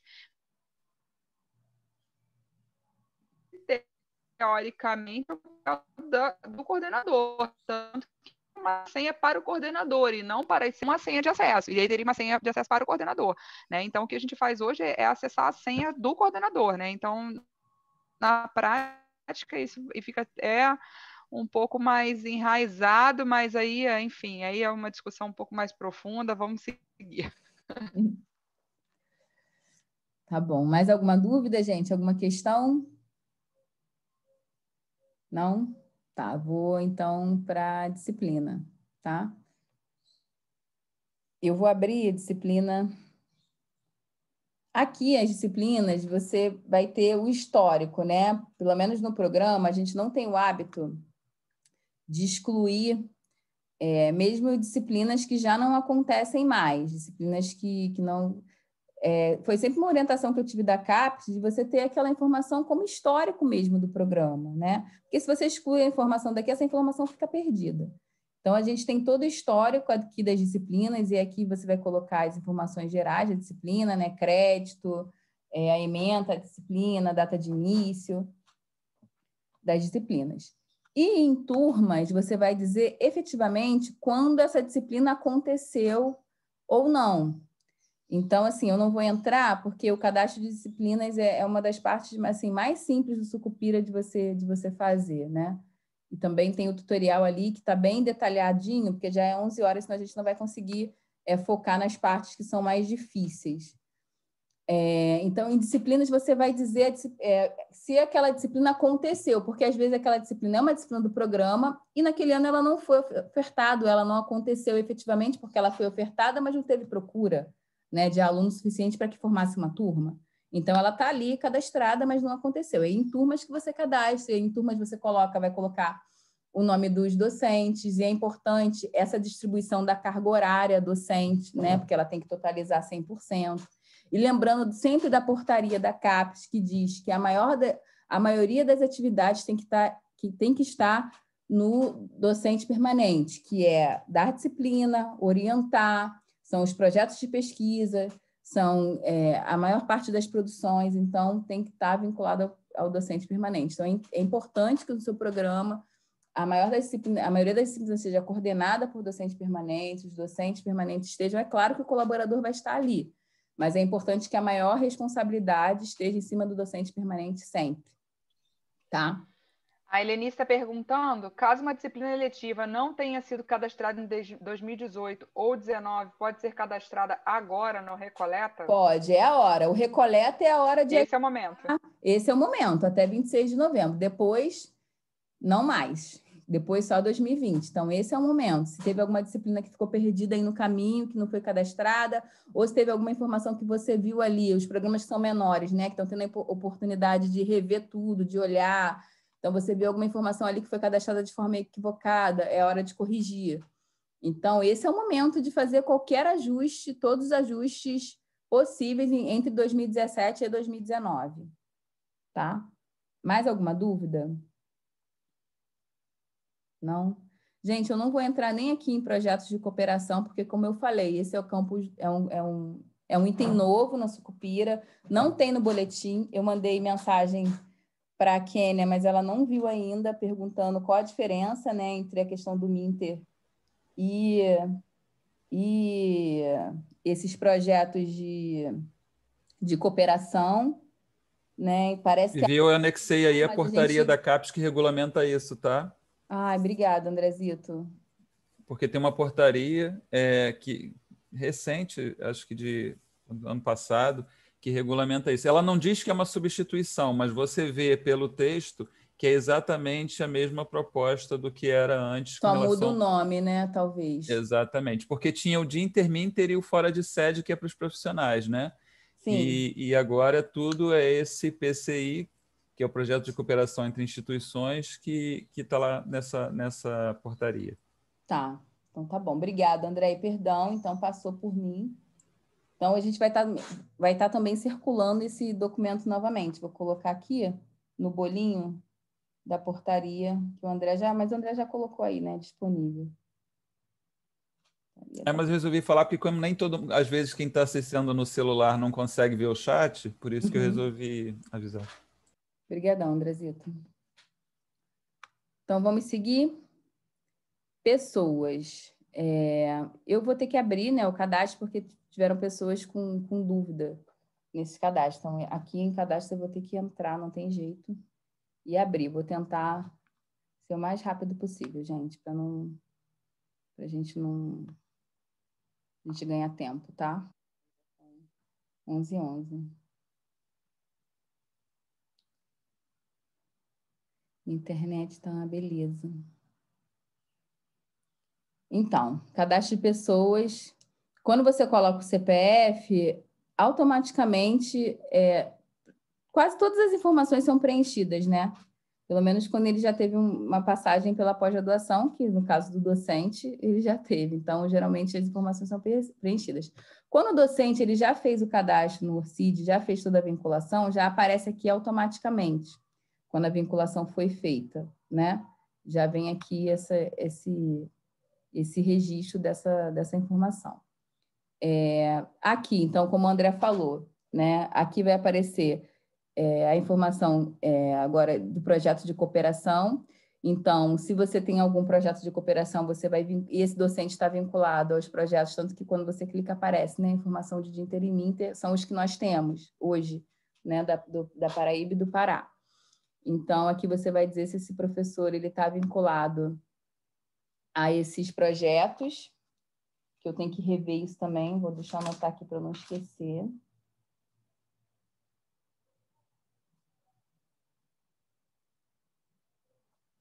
Só um minutinho, gente. Tem que rever no meu, se todos eles estão vinculados, tá? É, maior titulação, né? Informação de maior titulação que já vem, e se ele se ele é, participa de como docente permanente em outro programa, que já vai vir essa informação. Essa informação aqui ajuda, porque se ele tiver em mais programas e a carga horária, a, desculpa, a carga horária dele, somando os programas, for acima de 40 horas, vai aparecer lá no, no Sucupira como aviso. Isso aí é um aviso importante, que se aparecer esse aviso, é importante fazer os ajustes, né? para que as, as cargas horárias somadas nos programas que ele participa tem que totalizar 40 horas. Então, você vai entrar em contato com o seu docente e falar para ele, ó, oh, professor, porque às vezes ele não sabe, já aconteceu comigo de docente, isso em 2018, que estava como permanente num programa da UFRJ que nem sabia que era docente permanente lá. E aí eu mandei mensagem, ele entrou em contato com a UFRJ e não, não sou nem docente permanente nesse programa, sou colaborador, pediu para mudar, eles alteraram, aí já não aparece, que o problema é se acontecer de, deles, é, de fato, ser docente permanente, por exemplo, em três programas ou dois programas, e a carga horária seja superior, aí vai ter que ter uma adequação. O, o, no, o nosso programa, se acontecer isso com a gente, a gente talvez tenha que ceder um pouco da carga horária, né, diminuir, e nos outros programas também, ele, aí esse contato é do docente, tá? Ele tem que entrar em contato com os programas e pedir para fazer essa adequação da carga horária, né? essa adequação essa adequação é referente à carga horária dele como docente permanente. Então, ele como colaborador, isso não vai, não vai interferir. É, deixa eu só fazer um destaque que, que a Vivi colocou que isso aqui ele entra como aviso, né? Lá na verificação de erros, o aviso ele não impede que a gente envie o relatório. Mas existem, é, é, mas existem alguns avisos que a gente recomenda fortemente que seja solucionado.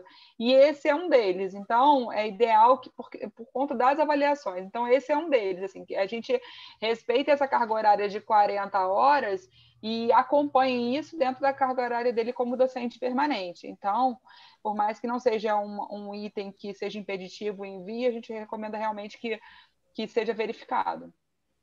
Posso fazer uma pergunta? Pode. Teoricamente, essa informação aparece em todos os, os, relatórios de todos os programas ao qual esse docente está vinculado, né? Se apareceu, Sim, por exemplo, aviso. que ele está com 50, ele aparece com aviso para todo mundo. Então, teoricamente, Sim. todo mundo deve ficar em alerta de todos os programas ao qual ele está vinculado, né? Sim. Sim. Tá, e normalmente, é, assim, isso é um impasse também, isso é avaliado, claro, por também cada unidade, mas tem vezes que o docente quer fazer a sua distribuição de carga horária, mas ao mesmo tempo tem que ser algo combinado com a coordenação do programa, justamente, bom, mas eu não faço, não atuo tanto aqui, não, mas você é permanente no programa, né? Como é que eu vou dizer que você trabalha cinco, tem cinco horas de carga horária no programa? Então, isso tem que ser um consenso entre o coordenador e o docente para a secretaria acadêmica poder alimentar. Exatamente. E aqui, ainda em cadastro docente, tem as informações é, sobre a área acadêmica, que o meu está lento, que tem informações quantitativas que você tem, que, que a coordenação e as secretarias precisam alimentar. Essa parte de quantitativos de orientação, não, porque o sistema ele já traz isso, porque lembrando que o Sucupira é interligado. Então, lá em cadastro discente, que a gente ainda vai ver, você informa quem é o orientador daquele aluno, né? E no trabalho de conclusão também, você informa quem é a banca, quem é o orientador, então o sistema ele já puxa essa informação de forma é, quantitativa para cá. Mas a informação sobre iniciação científica, não, porque embora o programa ele não tenha graduação, né, embora a Fiocruz não tenha graduação, nós temos programas de iniciação científica. Então, aqui é importante você colocar, se esse professor é, orienta né, alunos de iniciação científica, esse quantitativo, tá? Da iniciação científica. No caso da ENSP, a gente tem essa informação na pesquisa, na vice de pesquisa. Então, é, é ver também na sua unidade, talvez no, no, setor de pesquisa, eles têm essa informação de forma, né?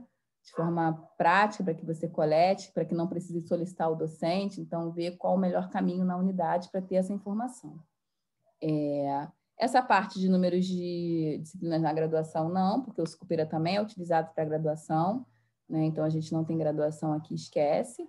E aqui tem, um, tem tipo um histórico de quantitativos das participações é, desse professor, que é importante sempre, voltando aqui, ó, a gente está em 2020, né?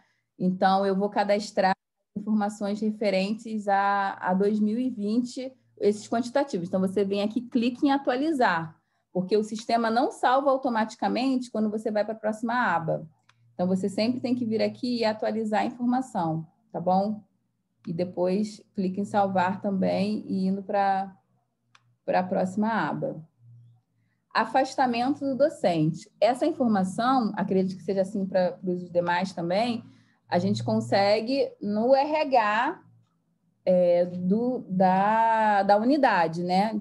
É, a gente solicita para o RH, às vezes informação de pós-doc, a gente pede também para pesquisa, porque às vezes é um pós-doc que não está formalizado no RH, enfim, a gente também é, solicita de um formulário no, no Google Chrome, que o programa fez para ajudar o coordenador a alimentar a proposta do programa. Então, ali também tem informação de pós-doc, a gente solicita por ali, pelo Google, esse formulário, né, que tem facilitado a nossa vida em muito. E aqui você vai colocar em afastamento o motivo do afastamento, né, se é estágio pós-doutoral, estágio sênior, outro motivo, ou isso aqui é maluquice, outro motivo e outro tipo de afastamento, que é a mesma coisa visita de colaboração, visitas técnicas. A gente costuma a, a informar todo tipo de afastamento, às vezes de um mês, enfim. A gente sempre coloca essa informação de afastamento aqui. Quando você escolhe a opção de pós-doutoral, ele abre a opção de, de instituição de ensino superior, tá? Então, às vezes, aconteceu de você buscar e não encontrar, mas é o nome, você tem que colocar o nome exato da, da instituição, porque, às vezes, assim como na Fiocruz tem, ah, que às vezes as pessoas se confundem, né? A Fiocruz, aí bota ENSP. Não, a instituição é Fiocruz. Então, você tem que buscar exatamente o nome da instituição, porque, por exemplo, na, na UFRJ tem Universidade de Medicina, não sei o quê, né? É, mas a, instituição é, é o UFRJ, então é importante ter esse cuidado aqui. Aí, ao final, você vai lá e conclui. Deixa eu cancelar aqui.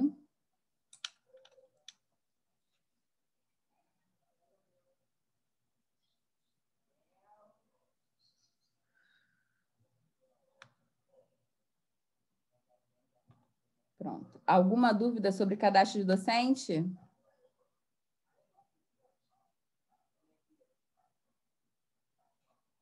Não?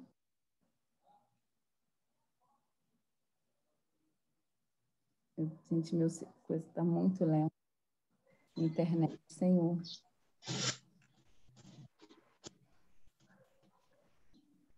Vamos lá. Pessoal, os cadastros eles são bem similares, tá? Então, assim, como a minha internet está lenta, eu estou tensa com esse tempo, eu vou entrar só em cadastro discente, participante externo eu vou falar, e pós-doc e egressa eu vou falar também, eu não vou abrir porque minha internet não está ajudando, está demorando e a gente tem pouco tempo. Mas como eu falei, gente, o tutorial eles, ele vai lá ponto por ponto, como é que você vai, tem, ele ajuda muito, assim. E as dúvidas vocês podem perguntar, se tiver alguma dúvida, porque como foi falado, assim, é, é, a gente perguntou, não tem ninguém que não tenha entrado no Sucupira, né, e cadastrado alguma informação. Então todos já já sabem mais ou menos como, como fazer isso. Eu vou entrar aqui em discente ainda, porque alguém teve alguma dúvida sobre o cadastro discente, que eu já não me lembro mais qual foi. Então, aqui, discente também, você coloca o CPF, o sistema já traz várias informações. Essa informação de, de raça, é, pessoa com deficiência, sim ou não, é novo na plataforma. Novo, né? Novo tem o quê? Uns dois, três anos, eu acho.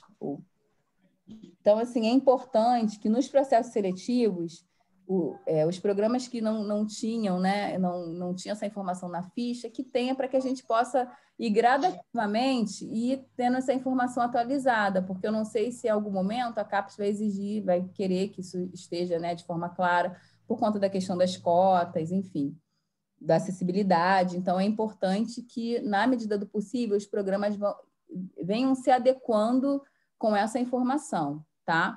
E aqui também, quando o aluno já fez a vinculação, no, vai estar tá no, vai, vai aparecer automaticamente aqui o número do. É, o que a gente fez, o que a gente fez no IFF referente a esse item, a ficha de matrícula do aluno, a gente já colocou, já inseriu um campo para ele sinalizar. Então, quando a gente cadastra o aluno no Sucupira hoje, a gente já tem essa informação para inserir, tá? Independente do, do, desse trabalho retroativo.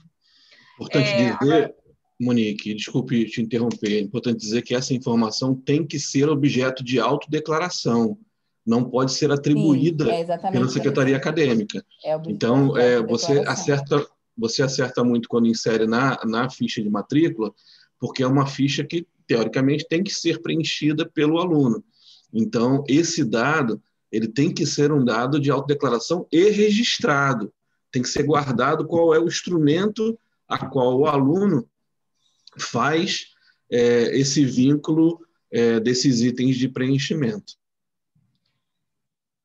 Gente, o Sandro defende isso muito bem, que o Sandro é o homem das cotas. O trabalho do TCC dele também foi relacionado a isso, tá? Eu adoro fazer propaganda de trabalho de TCC de curso de especialização em gestão acadêmica. Fala do seu trabalho também, moça. Seu trabalho também é muito útil para todo mundo aqui, para o desespero. Tá, gente. O, traba... eu, eu vou te falar que eu, eu, já nem lembro. o título. Não, eu então, tenho, é, pontos fala... críticos. Isso. Tem, não, mas fala sobre ele também é foi. é bonzinho. Pontos críticos, pontos críticos e estratégias de melhoria na captação das informações relevantes para avaliação CAPES dos cursos estrito senso do IFF e o Cruz.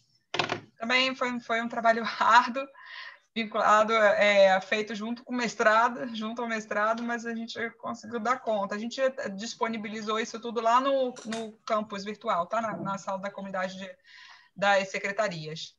Lembrando que é... a gente tem presente agora, é, nesse treinamento, coordenadores de programa. É, e esses coordenadores também podem é, acessar essas informações que foram feitas é, por nós, né, por meio dos trabalhos, para ajudar também a entender não só a, a, dinâmica de preenchimento da plataforma ou itens que são relativos à nossa, ao nosso trabalho de, de gestão acadêmica nas secretarias. Verdade. Muito bem lembrado. Isso aí. Vivi, a Vanise pergunta ainda como corrigir o e-mail. Espera aí, e-mail. Então, você tentou corrigir e não conseguiu? Aqui no cadastro, é só você entrar e corrigir, fazer a alteração do e-mail. Foi isso, Vanise? Você tentou e não conseguiu?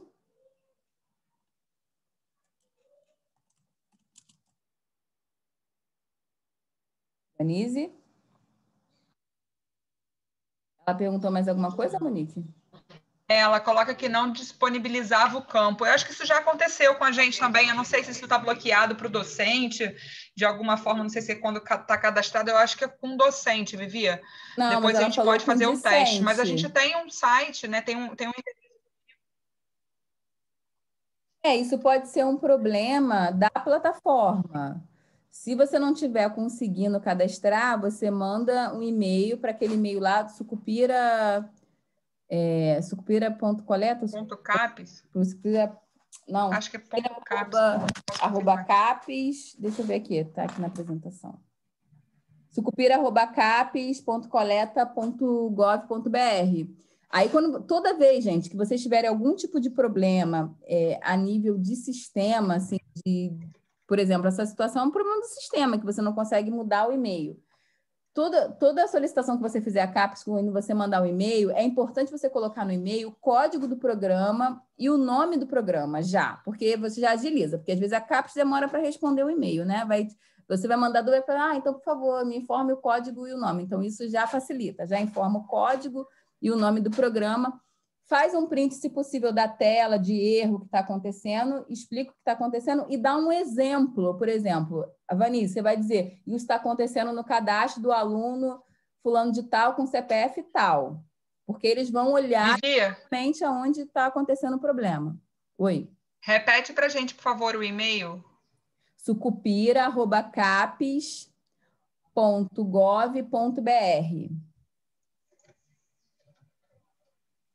O e-mail também está lá no tutorial. Quando, assim que você abre o tutorial, tem lá os contatos para poder. Joguei aí no chat, tá, gente?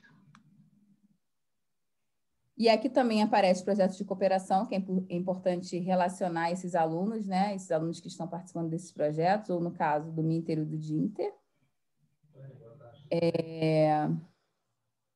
O cadastro, né? A data de que ele entrou, a data da matrícula, se ele se ele está matriculado, você pode é, desligar, a diferença entre desligado e abandono. Desligado é uma ação do curso e abandono é uma ação do aluno, essa é a diferença, tá? E aqui você cadastra o, o, o orientador, que às vezes você, esse, esse aluno, ele vai ter também um co-orientador. Esse co-orientador, ele pode ser participante externo, né? Basta você cadastrar ele lá no cadastro de participante externo e colocar e vincular essa informação. É importante aqui, lembrando essa portaria aqui da CAPES, quando fala sobre a questão das bolsas, né, que não, que não, necess, não há necessidade de, de lá na, no, na parte de bolsa, de você vincular esses alunos que são, ou, ou vincular esses alunos que são bolsa bolsa CAPES ou CNPq, porque o sistema ele já é interligado, ele já vai mostrar essa informação da bolsa de uma forma automática por dentro do sistema. Então, não precisa é, fazer mais essa vinculação à questão da bolsa, tá? Alguma dúvida sobre esse cadastro? As bolsas CAPES e CNPq entram automaticamente depois de uma ação do nosso querido André Zita, né? Ah, exatamente, isso aí. Do CNPq, não, eu não cadastro bolsa é, CNPq, o programa. Ele cadastra a CAPES, é, o CNPq é cada programa. E de demanda social, quem é ProEx, do, não. Vivi, Franciele está perguntando sobre o trancamento do aluno, como alimenta? Então, no Sucupira, ele não tem essa opção de trancamento. O aluno que é trancado, o tempo médio de titulação dele continua contando, né? O que a gente faz é nas situações assim, que geralmente o trancamento é por motivo de saúde, né? Ou, é, a gente coloca, eu, eu sempre informo para peço à secretaria acadêmica e informo pro, e encaminho essa informação para o coordenador para que ele coloque na proposta justificando o trancamento, tipo uma lista, né? Fulano de tal, trancou período tal, justificativa do trancamento, lá na proposta tá? Então, assim, aí no cadastro você, ele vai estar matriculado. Não existe a opção de trancado. Mas para efeito de tempo médio de titulação, essa observação, assim, é uma coisa mais qualitativa, mas em termos é, de números ele não significa muita coisa, né? É, não significa muita coisa, mas é, tem sempre uma margem, né? Dentro dessa questão da, do tempo médio de titulação, a CAPES ela te dá uma margem de, de de atraso, de defesa. Então, eu acho é. que é prevendo essas situações é, de doença. Né? Cada área de só conhecimento tem o seu tempo. E só para registrar também, nesse período, por conta da pandemia, saiu naquela portaria 55 que permite a prorrogação de bolsa, informa que para esse quadriênio também vai ser desconsiderado esse, esse item tempo médio de titulação por conta da questão da pandemia. Bom, Inclusive, é, a, a portaria 55, André? Aquela que, que, que prorroga as bolsas por três meses, porque teve uma portaria que prorrogou as que autorizava prorrogar as bolsas por três meses, é, e outra portaria que fala e que prorrogou depois, autorizando por seis meses. Nessa de três meses, fala dessa questão do tempo médio. É porque, você até me desculpe, Marco, nós é, acabamos encaminhando só para os programas acadêmicos por conta da questão da bolsa, já que os profissionais não têm bolsa. Mas foi é, bom você mas... lembrar, eu vou passar para todo mundo com esse com essa informação, porque realmente, assim, embora não tenha bolsa, mas é uma informação que atinge a todos os programas. É, mas no nosso caso, André, deixa eu só fazer um ponto aí. É, nós, a, a Bio Manguinhos, há muito, desde a da criação do, doutor, do, do, do MP, os alunos externos que não são profissionais, né, a gente, a diretoria, ela paga uma bolsa Fiotec, né? no mesmo valor do, da tabela CAPES CNPq e pelo e, e, cumprindo as mesmas regras do da CAPES CNPq em termos de bolsa.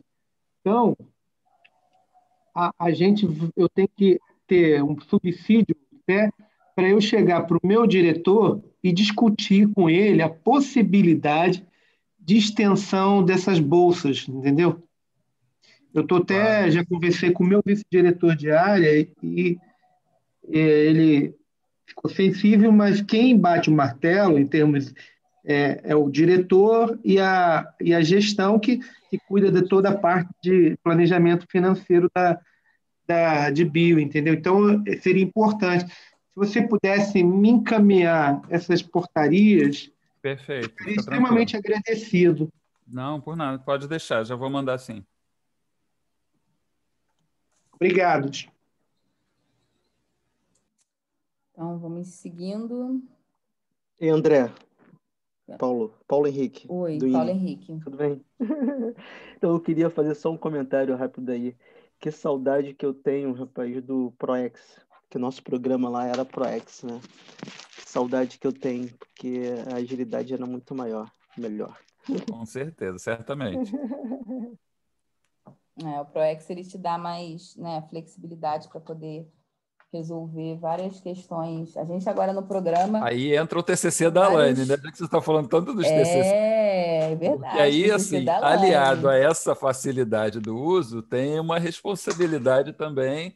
Também do coordenador. Tá no, no, no, a no, coordenação. No app, é, você está numa estrutura institucional que te respalda. Quando você está com o ProEx, que é o coordenador com o CPF dele, assim, ele tem uma liberdade, mas ele está assim ele tem que estar tá muito mais é, se protegendo, é, ciente da legislação, porque ele pode ser penalizado, assim, porque quando você está na Fiocruz, se você for fazer alguma coisa que, que não está errado, assim, mas que está fora da regra do serviço público, o pessoal da gestão das unidades vai te dizer, não, isso não pode, não é assim, tem uma tramitação, é, é essa, é aquela.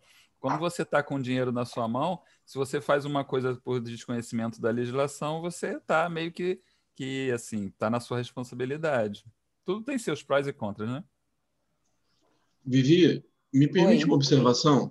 Claro, é, pode falar. A partir, da, a partir da fala do colega sobre a questão de bolsas, e à luz da, da análise que o André fez há pouco sobre a legislação de, é, que permitiu a defesa, a prorrogação de defesa sem que houvesse problemas junto à CAPES, é, só para colocar para o colega que é, a gente tem que ter muito cuidado com essa relação entre prazo de defesa é, postergado e, e postergação de bolsa. Prazo de defesa postergado é uma concessão. Nesse caso, agora, inclusive, é, de forma legal, estabelecido pela própria CAPES, é, e a questão das bolsas, porque se houver por parte de qualquer programa, a garantia para todos os alunos de que as bolsas serão postergadas já desde agora, independente do período de, de defesa, com certeza ninguém defende no prazo. Então, é, só para ter um pouco de cuidado nessa relação entre conclusão do, do, da, da dissertação em tese e efetiva possibilidade de postergação de bolsa, porque senão uma coisa pode estimular a outra e virar um efeito cascata. Principalmente agora no período que a gente está vivendo de muita escassez de recurso, muita gente sem emprego, e aí não é nem maldade do aluno, é uma oportunidade que ele vai aproveitar para esticar ainda mais essa entrega dos trabalhos. E aí dificulta um pouco é, esse nosso próprio controle, né? além das cobranças de todas as turmas. Aqueles que estão ingressando nesse momento vão entender que também teriam direito, isso vira um, um efeito cascata sem controle. Então, só para é, trazer presente essa observação, no sentido de, de colocar para o colega de que essa discussão acerca de protelação, de esticar esse período de bolsa, é muito complexo e tem que ter muito cuidado, senão perde o, o controle sobre isso. Até porque, gente. Ah, até porque, gente, falando em efeito cascata, enquanto você posterga uma bolsa, você não cede para um novo discente, né? Então, é, realmente, isso tem que ser muito cuidadosamente avaliado pela coordenação, pela coordenação do programa. Isso sem dúvida nas bolsas tempo... CAP CNPq. Agora, o colega fazia referência a uma bolsa da instituição, uma bolsa via ah, é, a Fiotec. Aí, no caso, teoricamente, por ser orçamento, não seria é, um problema efetivo, mas ele traria um outro problema para o meio acadêmico, quer dizer, um problema, uma ação que é administrativa na perspectiva de ajudar, viraria um descontrole no processo de controle acadêmico.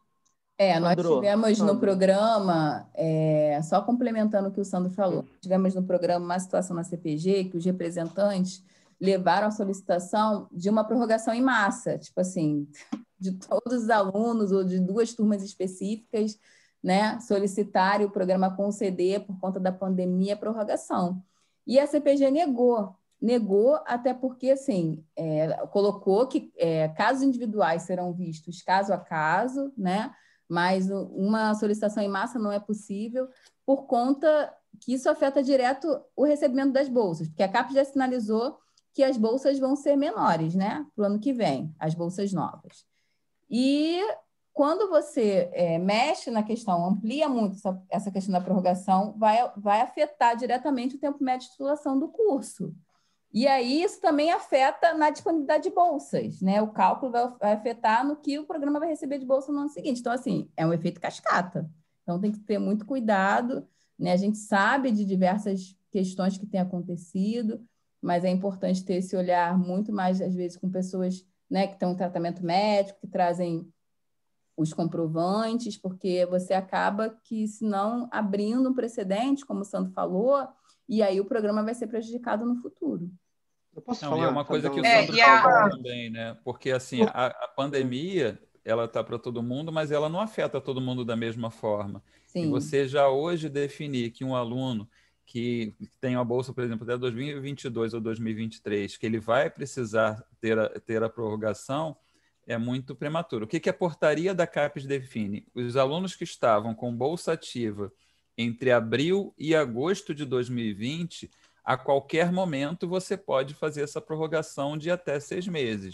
Então, assim, se você, o aluno ingressou agora em março desse ano, de doutorado, por exemplo, que vai defender em 2023 ou 2024, você pode até, enquanto a bolsa estiver ativa, e você identificando que existe a necessidade, você fazer essa prorrogação da bolsa. Então, assim, não precisa ser hoje, mas o aluno, é, o aluno que entrar agora, por exemplo, ele já está fora das portarias. Ele tem que ter estado com a bolsa ativa entre abril e agosto de 2020. Isso é o que define a portaria da CAPES. E, e lá na frente, você pode identificar. Eu também acho muito prematuro que, que hoje você defina. E, além disso, para CAPES, prorrogar ou não, é, o que, que ela já definiu?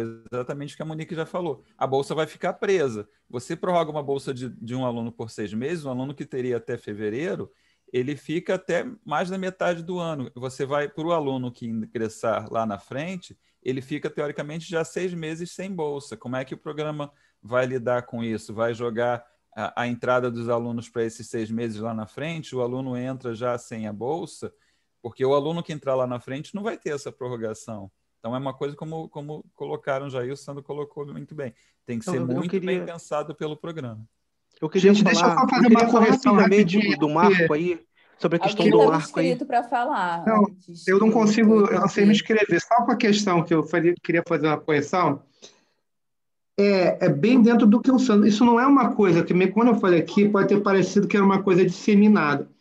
Então, porque a gente tem lá tem 20 alunos. Então, tem alunos que fazem monogra... Eh, dissertações que não, é, não são experimentais. Então, não vai, a princípio, não justifica ter atraso. Mas quando eu falo sobre isso, porque é, como é uma, não é uma, uma cota CAPES, CNPq, a gente tem que discutir previamente isso com a, dire, com a, direção, a diretoria, né? quanto a essa possibilidade, até porque a gente tem que fazer, fazer um, uma, um planejamento orçamentário para 2021. Então, isso está tá dentro do, da nossa visão, que não é uma coisa disseminada, que eu não vou, não vou ah, poder é, renovar automaticamente a bolsa para os 20 alunos. Entendeu? Então, isso vai ser caso a caso. Então, acho que talvez na minha fala tenha ficado minha, tenha passado isso. Então, é, é muito dentro do que vocês falaram, entendeu? Só que eu preciso ter subsídios para eu negociar né, para que seja colocado no planejamento no, no, nosso POM, né, que é no planejamento orçamentário de 2021.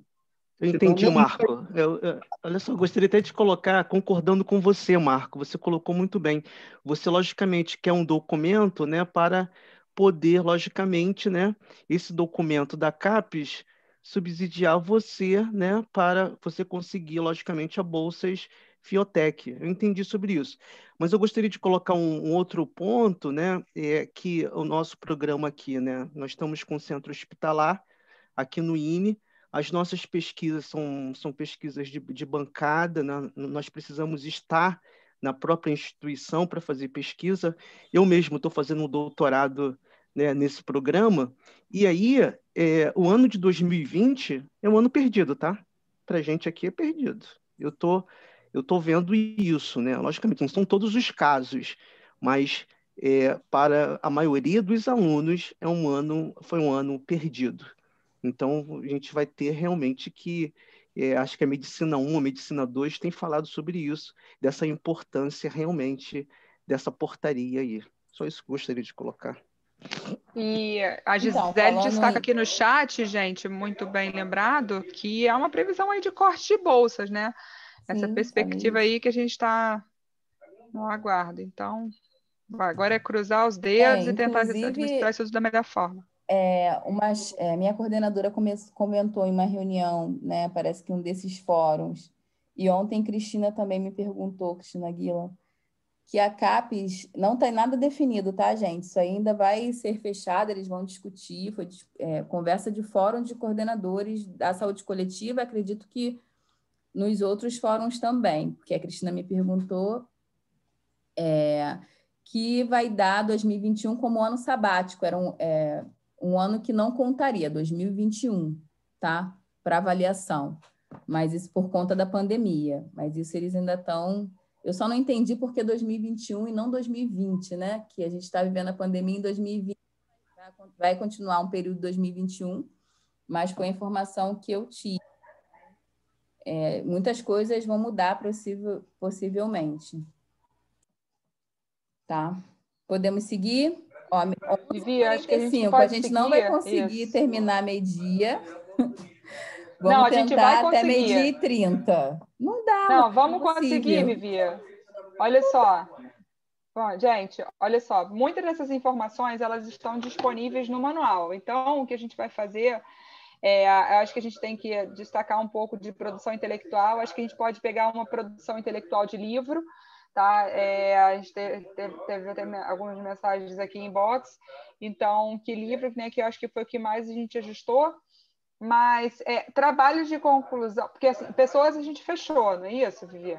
É, eu falei que eu não ia entrar, a gente falou de discente, eu não vou abrir o cadastro participante externo, né? Mas eu posso só ir falando sobre o cadastro participante externo, pós-doc e egresso, só falar sem abrir.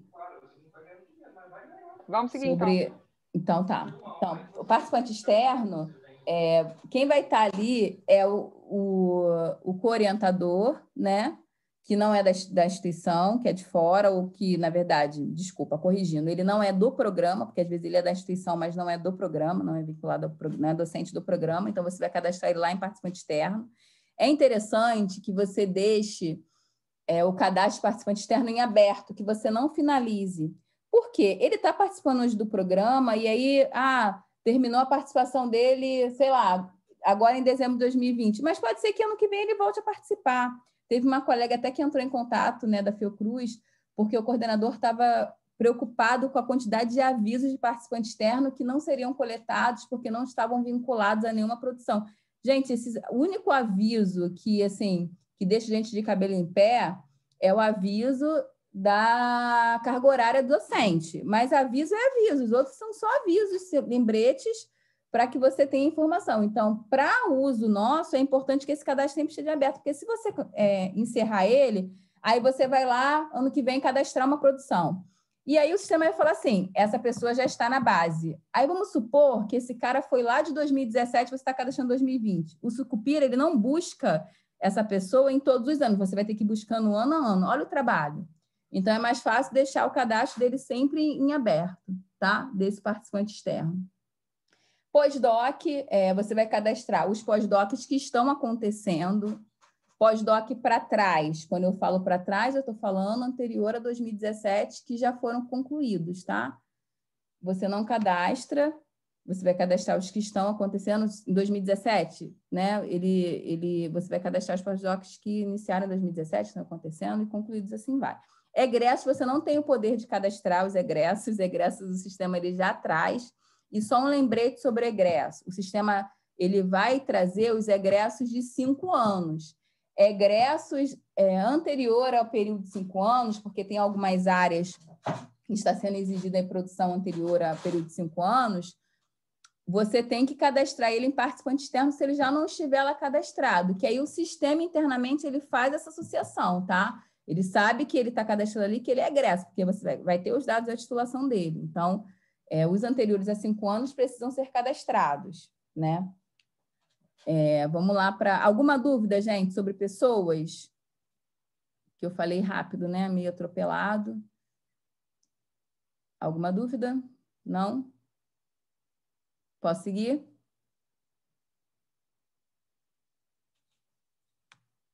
Pode seguir, Vivian. Vou seguir. Conclusão, também não vou entrar em trabalho de conclusão. Trabalho de conclusão, você vai ver que tem uma série de informações que são extremamente importantes você cadastrar, que é o título da, da dissertação ou da tese, né, as palavras-chave, resumo, ab, abstract, é, a banca, os participantes da banca, o orientador, acho que agora, o sistema já traz o orientador.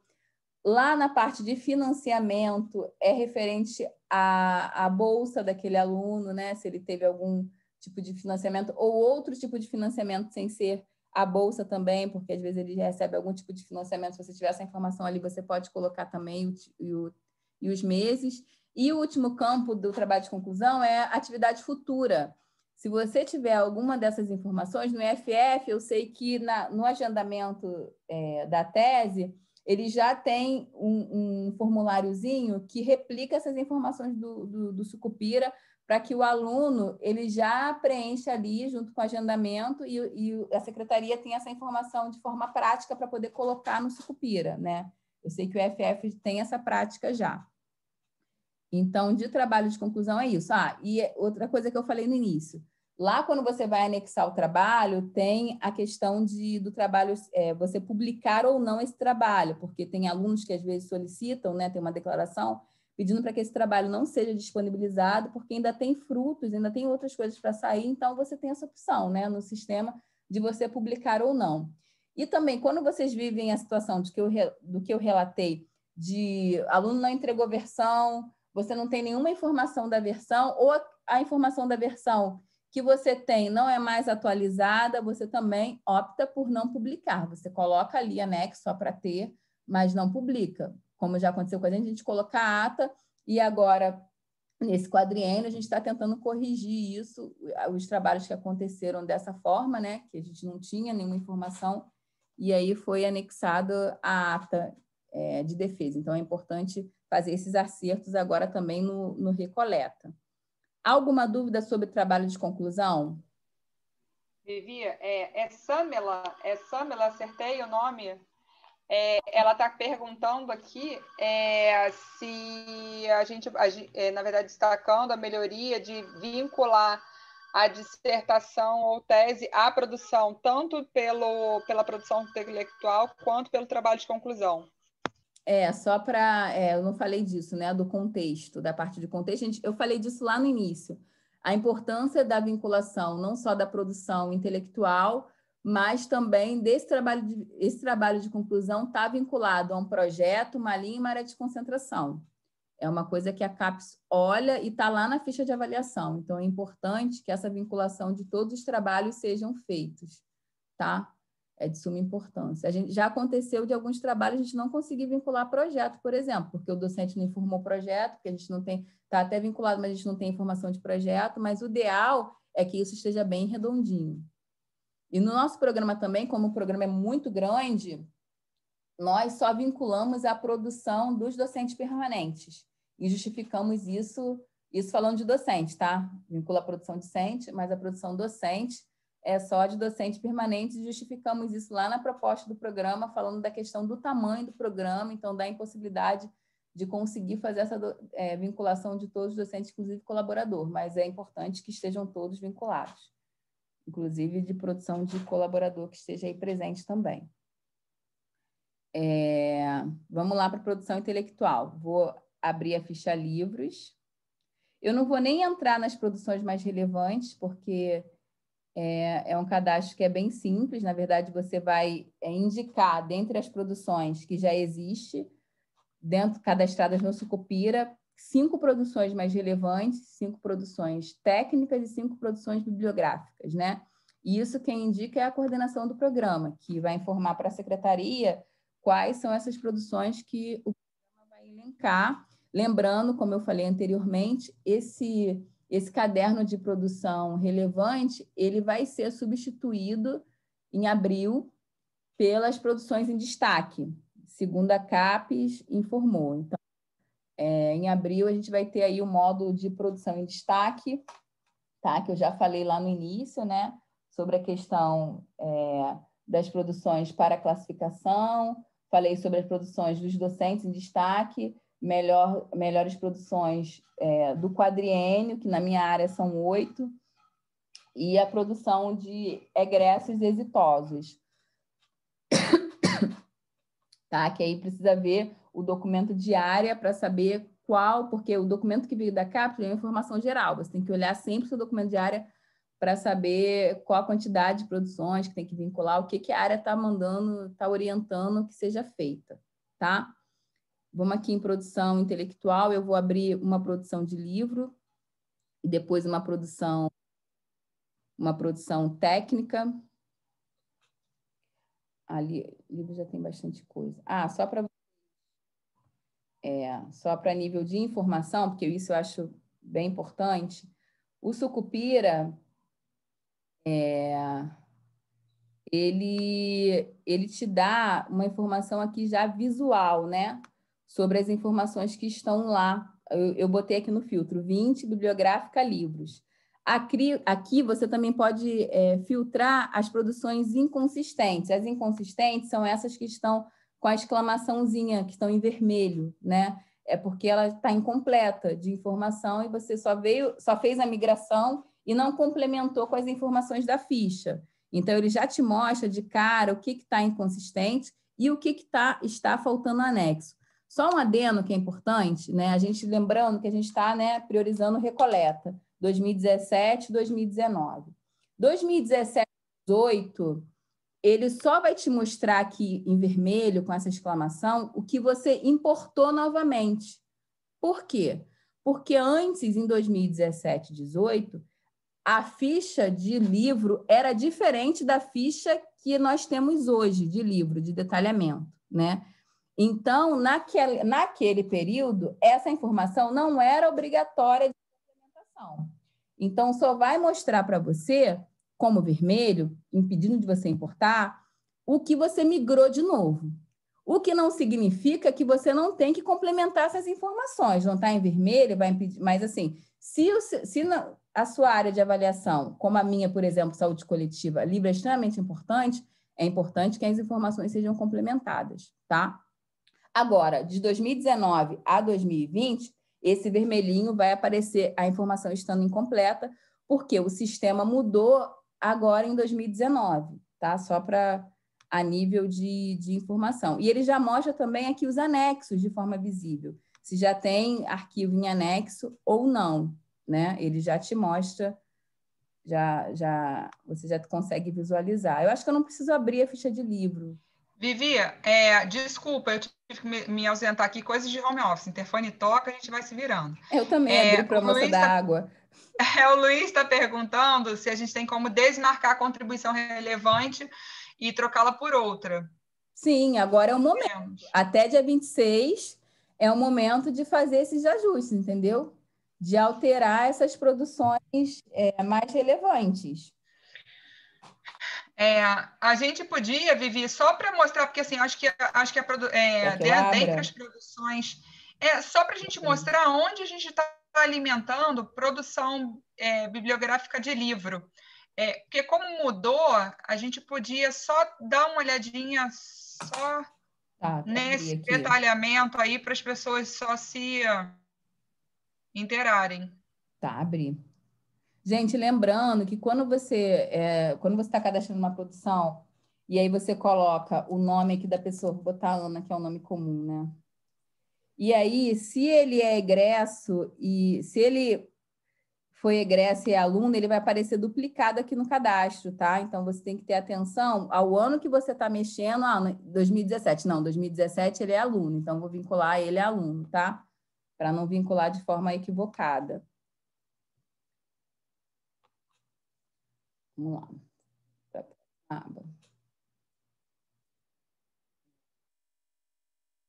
Vamos lá, título, né? Isso aqui já, já existia, o ISBN agora ele tem 13 caracteres, já foi feita essa adequação.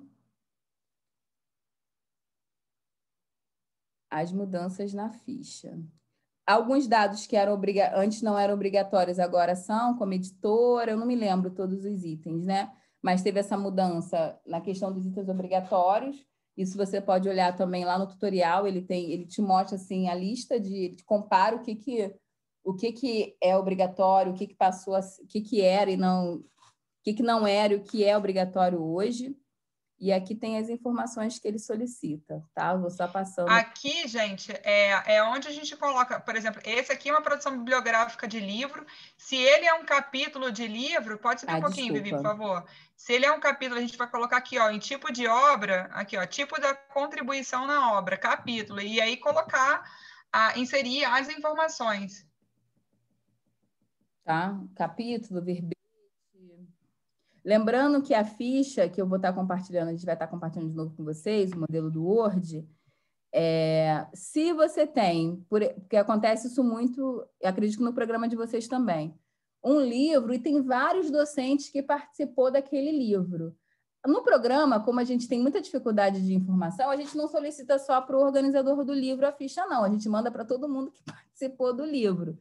Mas se tiver algum, se você tem a ficha do organizador e você tem o PDF, você não precisa solicitar mais nada para os outros professores, porque o que muda de uma ficha para outra é o título do capítulo e a quantidade de contribuição do livro e a participação, né? Se foi apresentação, foi prefácio que ele escreveu, introdução. Então, se você tem um PDF e uma ficha do organizador, ou uma ficha de um capítulo de um professor que você sabe que ele preencheu o negócio direito, né, com as informações corretas, você já consegue preencher todas as outras, as outras, os, as outras informações é, desse livro, porque você já vai ter o PDF em mãos e uma ficha preenchida de forma adequada. E só muda o título, o tipo de participação e a quantidade de páginas de contribuição para a obra. E aí, enfim, teve todas essas mudanças, esses dados aqui, ó, que entraram, natureza do texto, é, leitor preferencial, origem da obra e outros dados que antes não eram obrigatórios e agora são, e anexar o PDF, né? E aqui você tem um campo de observação que é curto, né? Só de, de mil palavras, de mil caracteres, que você também pode colocar alguma informação que acha relevante. E é sempre interessante, se possível, anexar o PDF do livro completo, né? Da obra completa. É claro que às vezes você não consegue. Então, você vai solicitar, aqui quando você clica na lupinha, ele mostra o que, que você tem que pedir. Se você não tem o... E também tem um documento da CAPES que fala sobre isso. Lá na, na, nos documentos da, da área, você vai ver esse documento também está disponível lá. E eu acho que num dos boletins também. Vai dizer o que, que você tem que fazer de um arquivo, pedir para o professor, né, um arquivo em PDF que tenha é, capa, contracapa, índice remissível, várias partes do livro, se ele não tem como é, te encaminhar a obra completa. Dá muito mais trabalho, mas enfim, é para se você não tiver maior número de maior informação, não tem como a comissão avaliar esse livro de forma, né, de forma correta. Então, o livro é isso. E aí, em produção, em todas as produções, você vai ter aqui a parte de contexto, que é essa vinculação da linha, área de concentração e projeto de pesquisa, né? Eu vou entrar aqui numa produção, numa produção técnica, só para vocês verem, só para mostrar a, o detalhamento da, da produção. Alguma dúvida sobre produção bibliográfica, sobre livro. O professor Luiz Teixeira está perguntando aqui como é que faz pra, numa produção relevante, como é que ele tira aquela estrelinha, como é que ela deixa de ser relevante? Você vai clicar, eu vou, eu vou voltar aqui. Deixa eu só, deixa eu só fechar aqui na produção técnica, que aí eu volto lá na produção relevante e mostro como é que você faz isso, tá? Como é que é feito isso. Então, eu vou abrir só uma produção, uma produção técnica aqui. Foi? Não. A internet está. Agora foi. Vou abrir uma apresentação.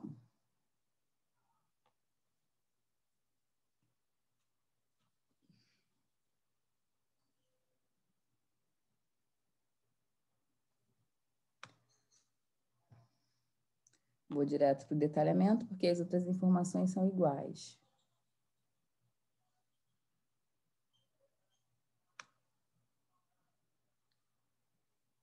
Tem as informações obrigatórias que já existiam, né, que, que variam de uma produção é, técnica para outra.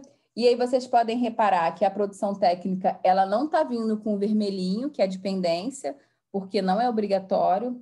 Mas, assim, como eu falei, é importante visitar o documento de área e os, principalmente os programas de mestrado, mestrado profissionais, né? Ter esse olhar e saber o que, que é importante para fazer essa complementação das informações. E todas as, todas as fichas de produção técnica vieram com esse, com essa complementação aqui, ó, referente ao impacto, nível de impacto, a impacto da demanda, objetivo de pesquisa e assim vai. E com a opção de, de anexo. Nessa ficha que nós fizemos lá, que foi um trabalho em conjunto, né, das secretárias da ENSP, junto com a Flávia, que é secretária do Prof. Saúde, para adequação da ficha de produção técnica, nós olhamos o, o, o GT de produção técnica, porque nesse, nesse documento do GT de produção técnica, ele vai dizendo que tipo de anexo é importante para cada tipo de produção técnica, né? Então, nessa, na, na ficha que a gente manda para os professores, a gente já um resumo das produções que são relevantes para a área de saúde coletiva, lá embaixo dos tipos de anexo. Ah, se ele escolher uma editoração, aí está lá embaixo que ele tem que caminhar o artigo da revista, entendeu? A gente fez uma adequação à ficha para que ele saiba o que, que ele tem que encaminhar para a gente de anexo dessa produção técnica também. Então, é importante, se vocês utilizarem o formulário, que cada, que cada área, assim, cada programa que não seja, porque aquele formulário, como eu falei, é voltado para a área de saúde coletiva, você tem que visitar o documento do GT para fazer essas adequações, entendeu? Que não foi um trabalho simples, porque o documento não é o espelho do Lattes, por exemplo. Né? A gente teve que ainda adequar o que, que ele diz lá de editoração, é um exemplo que está ok. Mas o que está no Sucupira, o que está no Lattes, porque às vezes tem coisas que não são similares, e o que está lá no documento do GT, se é a mesma coisa. Então, foi, foi bem trabalhoso, assim, a gente fazer isso. Tá. Vivi, a gente está com algumas dúvidas aqui no chat. Os tá. professores, a Zaira pergunta, os professores obrigatoriamente têm que indicar as produções mais relevantes deles? As produções em destaque, sim, são coisas diferentes. Uma coisa é a produção relevante, que são as cinco produções relevantes do programa, né? Que aí é do programa, cinco técnicas, cinco bibliográficas, cinco artísticas, artísticas, que não é o caso dos, dos nossos, dos nossos programas. É, e outra coisa é esse módulo de destaque que o Sucupira vai ser lançado em, em abril, que aí sim, é isso que eu estou solicitando por conta dessa complementação de produção técnica, que ele tem que indicar quatro produções dentro do quadriênio, 2017 a 2020, não necessariamente precisa ser um para cada ano, porque inicialmente, quando, a gente, quando eu fiz a consulta CAPES ao coordenador, ele disse que tinha que ser uma para cada ano, mas já saiu, depois saiu uma uma portaria, um documento de orientação falando que não, que de fato tem sentido, né? Não necessariamente o docente, às vezes o ano de 2017 ele nem publicou, por exemplo, né? Enfim. Então, é, mas é equivalente à participação do docente. Ah, o docente ele participou do programa em 2017, 18. 2018 ele saiu, então ele vai indicar 2017, 18. O, o docente entrou no programa em 2019, então ele vai indicar uma produção em 2019, 2020. Não necessariamente precisa ser uma de 2019, uma de 2020, pode ser as duas de 2020. No caso, docente que participou dos quatro anos, podem ser as quatro de 2020 ou as quatro de 2019, o docente que vai indicar para você qual é essa produção. Por isso que é importante também essa questão da remigração. Quem não me, porque às vezes aconteceu, em 2017 você enviou o Sucupira e as produções que estavam lá é, você ach, achamos que estavam ok. Só que depois que você enviou, o docente foi lá e atualizou a informação. Então, nós fizemos toda essa remigração, das, da, importamos de novo as produções de 2017 e 2019. Porque pode acontecer Cara, essa do do indicar a produção em destaque você não fez a remigração, e aí ele indicou uma produção que na época não estava, mas hoje está no Lattes dele, porque ele informou depois, entendeu? Então, por isso que é importante de você fazer essa remigração. Entendeu ou ficou confuso? Fui clara? Eu falei rápido pra caramba disso. Tá ok. Tranquilo. Ana Paula, Ana Paula diz aqui, ó, gostaria de confirmar se realmente é necessário reenvio, pois há um documento que diz que somente os livros já coletados previamente, 2017 e 2018, serão considerados. Não é necessário enviar novamente ou coleta. Então, na verdade, o reenvio, é, a CAPES, ela pelo menos assim, foi a última informação que eu tive com a, com a Kênia, que eles iam aceitar as informações, sim, que, que fossem remigradas. Todas as informações. A Kênia que eu estou falando é técnica da CAPES, tá, gente? Que me dá, que sempre me socorre quando tem, vocês têm alguma dúvida e eu não consigo ajudar, eu recorro a ela, ou algum problema no sistema, eu recorro a ela. Sim, teria que. É Fala, Foi? desculpa. Mas Posso a dúvida passar? da Ana Paula é especificamente com relação aos livros já coletados, de 17 Não, olha só. é o é, envio do gente, coleta, né? Oi, Julimar falando, né? Ana Paula não, é Julimar que eu tive que entrar e sair de novo. Ah, então, tá, a minha dúvida é que o André, mais cedo, tinha falado que a gente tem que reenviar até o dia 26 por causa de organização, né? Isso é sempre definido mesmo pela CGE, Pró-Reitoria. Mas a minha dúvida é, nesse, a gente tem mesmo que reenviar, porque nesse documento... Se você fizer modificação no sistema. Não é necessário é, reenviar novamente, são, não são só ajustes que a gente tem que fazer, e eles já, já estão em tese coletados, eles só vão verificar esses novos ajustes, precisa realmente reenviar, desculpe, reenviar o coleta para homologação e posterior envio lá para CAPES? Sim, na, na, na, última. André pode falar melhor disso. Na portaria. Na verdade, é para reenviar quem, como o Vivi já falou, quem fizer alterações. Se você acha que o que você mandou de 2017, 2018 e 2019 é o que há, não teve modificação nenhuma, não tem nada que seja atualizado, nenhum latte que tenha sido atualizado e coisas acrescentadas, ou nada que tenha que ser ajustado, é o que está. Assim, o que, era, que seria interessante, a meu ver, mas aí posso estar falando besteira, o Vivi me corrige, se você fizer uma verificação, viu que tudo que está ali está como vocês colocaram, que às vezes também acontece isso, pelo menos que, pelo que eu já ouvi de, de relatos, de você alimentar, aí no ano seguinte, quando você olha, coisas estarem diferentes, e aí você tem que corrigir. Se não tem correção, se não tem atualização, foi enviado, foi enviado. É, é porque às vezes se identifica necessidade de ajuste. E aí se faz esse reenvio, por isso a CAPES abriu a possibilidade que ela sempre faz no último ano do, do, do antigamente do triênio, agora do quadriênio, essa possibilidade de ajuste. Então, assim, se você viu que não tem nada para mudar, não tem nada para mudar. Mas não, vai sim, porque tem André, mas olha só, informações não... de livro e produção técnica. A dúvida da Jolimar é se basta complementar ou se tem que enviar no sistema, ir lá em verificação de erro e enviar no sistema. Eu acho que a dúvida é essa. É isso aí, é porque tem, no, tem nesse documento deixa claro na última frase, é, não é necessário reenvio novamente, mesmo eu tendo feito alteração. No nosso caso aqui, houve alterações, sim, houve correções, sim, até porque são, tem dados que são obrigatórios, tanto em livros quanto em produção técnica.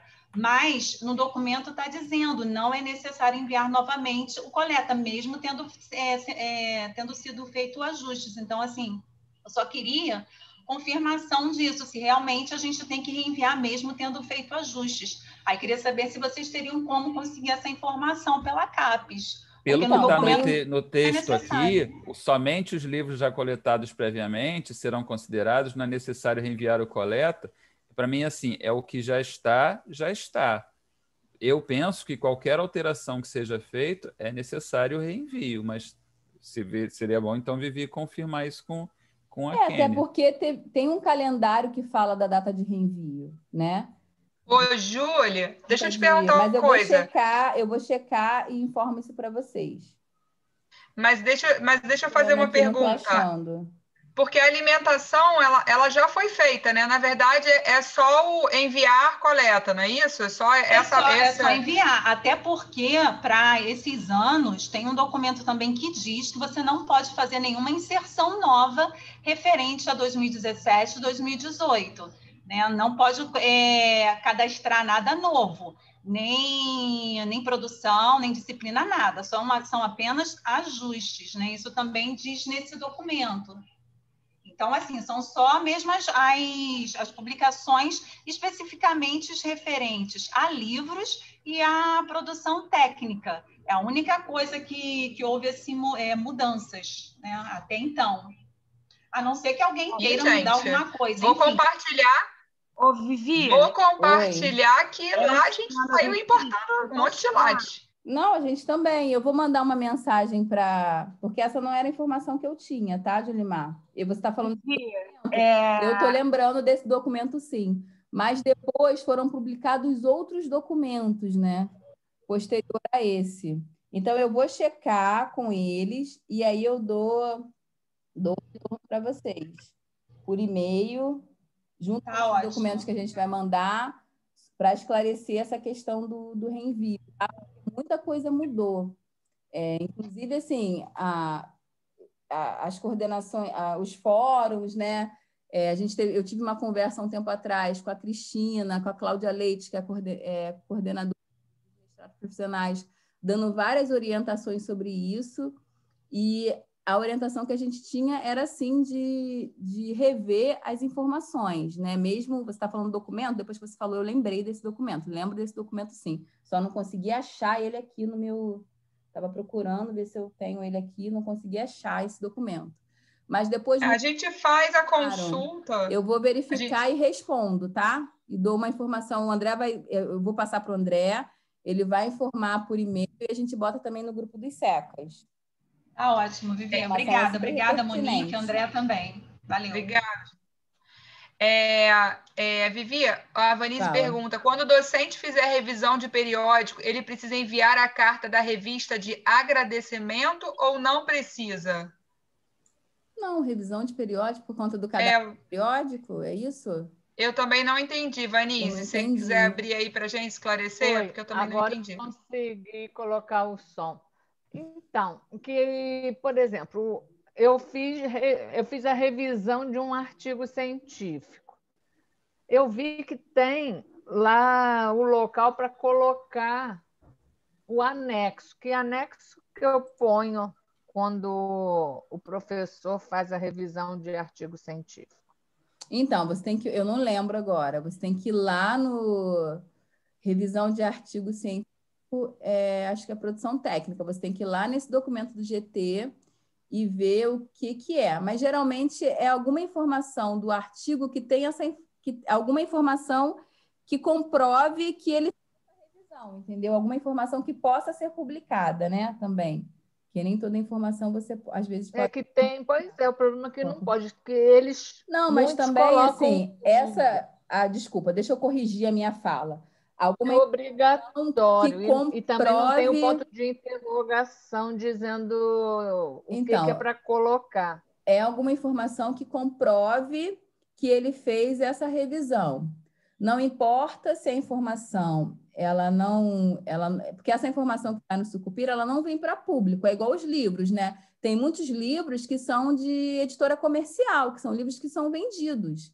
Então, são livros que não vai para o público. Esses livros vão estar tá só para a comissão, para nível de avaliação. Então, é uma informação restrita para um grupo restrito que vai estar tá avaliando.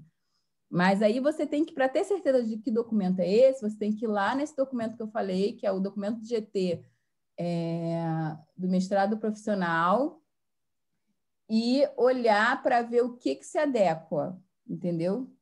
Para esse documento. Tá legal. Tem a descrição do anexo para cada item de produção técnica. Aí, ah, legal, obrigada. De anexo que é necessário colocar lá.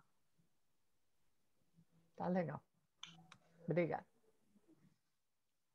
Gente, eu estava olhando aqui no chat, eu acho que a maioria foi dos comentários foram em torno desse, desse assunto, né? A Vivi vai esclarecer, então, e dar um retorno para a gente, pode ser por e-mail, a gente joga lá no grupo das secretarias também, Tá bem? Posso só ler aqui o que veio no ofício da CAPES, que fala sobre Pode. esse assunto da Julimar?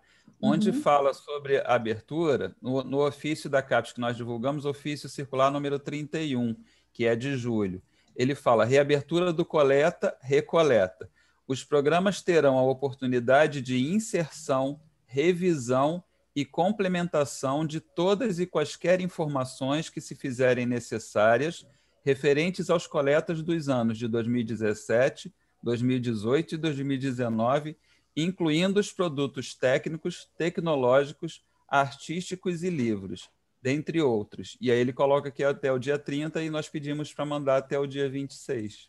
Então foi isso, Julimar. Eu lembro desse documento que saiu, inclusive. Julimar mesmo já acho... colocou, já, já colou lá no chat. Assim. Inclusive, eu acho que na palestra que a CAPES deu, que teve uma transmissão, né, tipo um treinamento falando das produções, eles falaram disso que a Julimar está dizendo, que não ia ser possível acrescentar nenhuma informação, que ia ser, você só ia complementar as informações dos livros e produções técnicas que já estivessem presentes lá. Mas depois saiu, posterior a, a isso, saiu esse, esse ofício que o André leu, com, por isso que eu estou falando, assim, esse quadriênio está uma maluquice. Toda hora a regra do jogo muda. E a gente vai enlouquecendo nesse processo. Então, assim, depois saiu esse ofício falando que você poderia inserir todas as informações. Tá?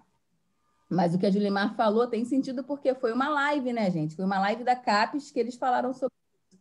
E aí, posteriormente, saiu o ofício falando sobre essa questão que poderia se inserir, é, enfim, outras. Mas é o que eu coloquei, está aberta a possibilidade. Mas se você achar que o seu, que tudo que você Sim. preencheu está ok, está ok, não precisa reenviar.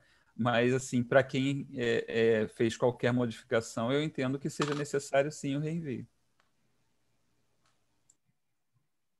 Ok, podemos seguir? Dúvida sanada? A professora Gisele colocou aqui, obrigado pelas informações, gostaria de saber acerca das informações de 2020, uma vez que os campos sumiram. Os campos sumiram? Como assim sumiram? É, eu também estava...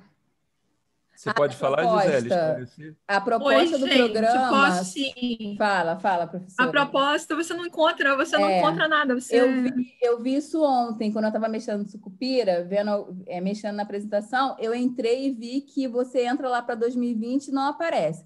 Aí, assim, eu não cheguei a perguntar a Kênia, porque já estava já tava tarde, eu não quis incomodá-la e acabou que hoje eu não perguntei. Mas eu juntei com a informação que a minha coordenadora falou, que 2020, eu acho que ela falou pensando na proposta, né? Porque aqui no, no programa, o que o, que o coordenador faz, efetivamente, de pegar e preencher, né? Porque as outras informações somos nós do programa que preenchemos, é a proposta. Então, ela falou que o, que o Bernardo, que é o coordenador da área de saúde coletiva, disse que 2020 era para ser preenchida a partir de 1 de dezembro. Então, eu acho que ela estava se referindo à proposta, porque o Sucupira ele está aberto, você pode preencher momento, entendeu? Então, eu estou deduzindo, mas eu vou. É a proposta, a partir da proposta porque... que desapareceu.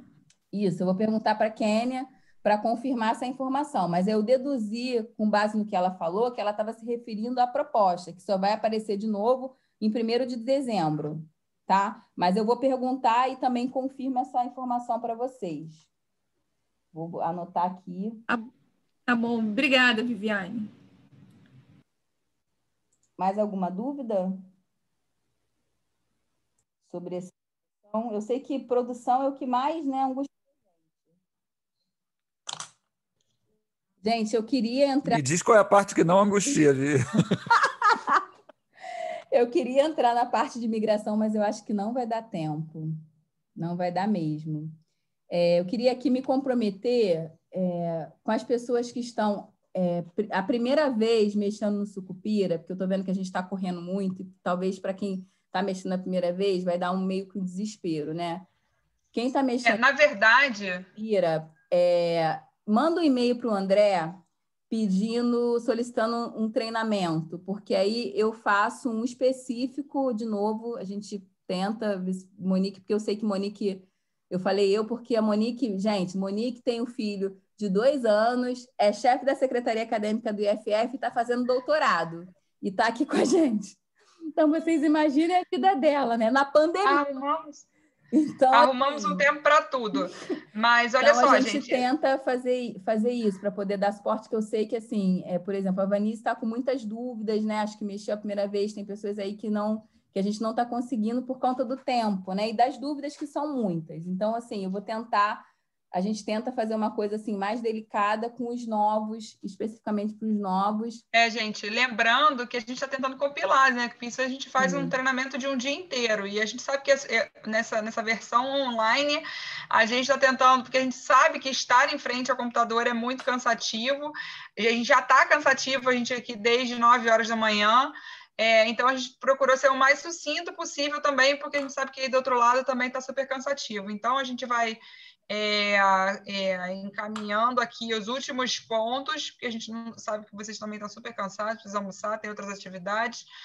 É, então, se aí se houver essa necessidade, por favor, acione que a gente tenta atender também. Mas eu peço também para que vocês olhem o tutorial, porque inclusive a CAP chama o tutorial de treinamento. Então, assim, antes de fazer essa solicitação, olha lá no tutorial, vê se com a informação do tutorial você não consegue é, atualizar, né? Porque eu entendo a angústia, porque eu já passei por isso, né? Entrei na instituição, como eu falei, crua, e eu sei como é desesperador, mas a gente também está com, com, um prazo de 26 para entregar, e as outras demandas do programa. Mas é claro, como eu falei, eu me comprometo. Se você de fato tiver necessidade, a gente faz isso. Mas, por favor, olhe o tutorial e tenta fazer com as informações do tutorial, porque eu acho que vai ser possível, porque o tutorial ele tá ótimo, assim, tá bem dinâmico, sabe?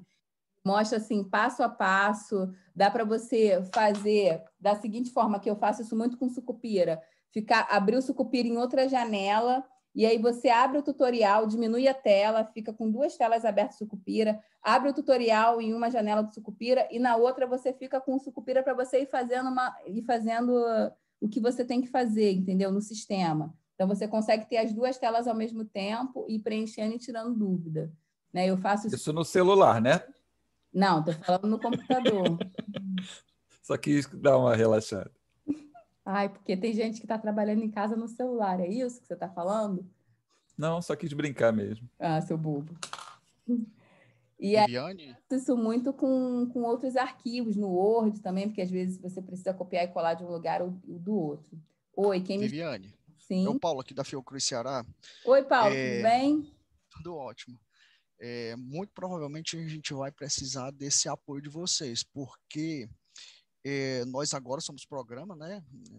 Antes nós tínhamos só um mestrado e agora, a partir do próximo ano, o nosso colete já vai ser baseado em um programa.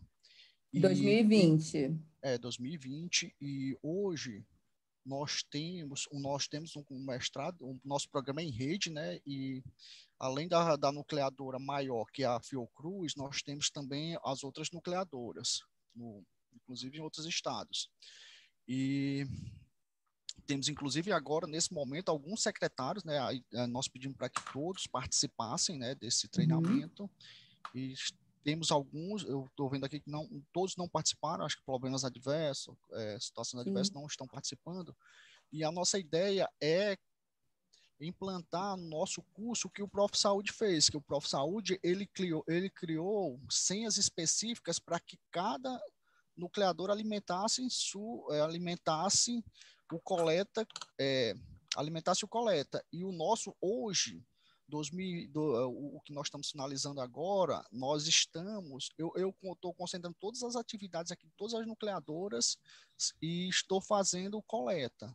E uhum. a partir, a nossa ideia é fazer esse desmembramento para que cada secretário possa atuar em específico dentro das suas nucleadoras. E muito provavelmente vai, vai precisar desse treinamento, mas aí a gente vai começar. começar mas aí eu estou entendendo nisso. que é para 2020, né? É, 2020, pensando nisso a partir de dezembro, porque Sim. tendo em vista que nós temos que finalizar até o dia 26 esse consolidado, referente a esses três anos, e a ideia é essa. E quando a gente é, começar, a gente vai precisar dessa informação, tá bom? Tá bom. Tá ok. Paulo, a informação que você fala é sobre como cada um ter uma senha ou a informação que você fala é da necessidade de treinamento para o preenchimento? Eu fiquei na é, dúvida.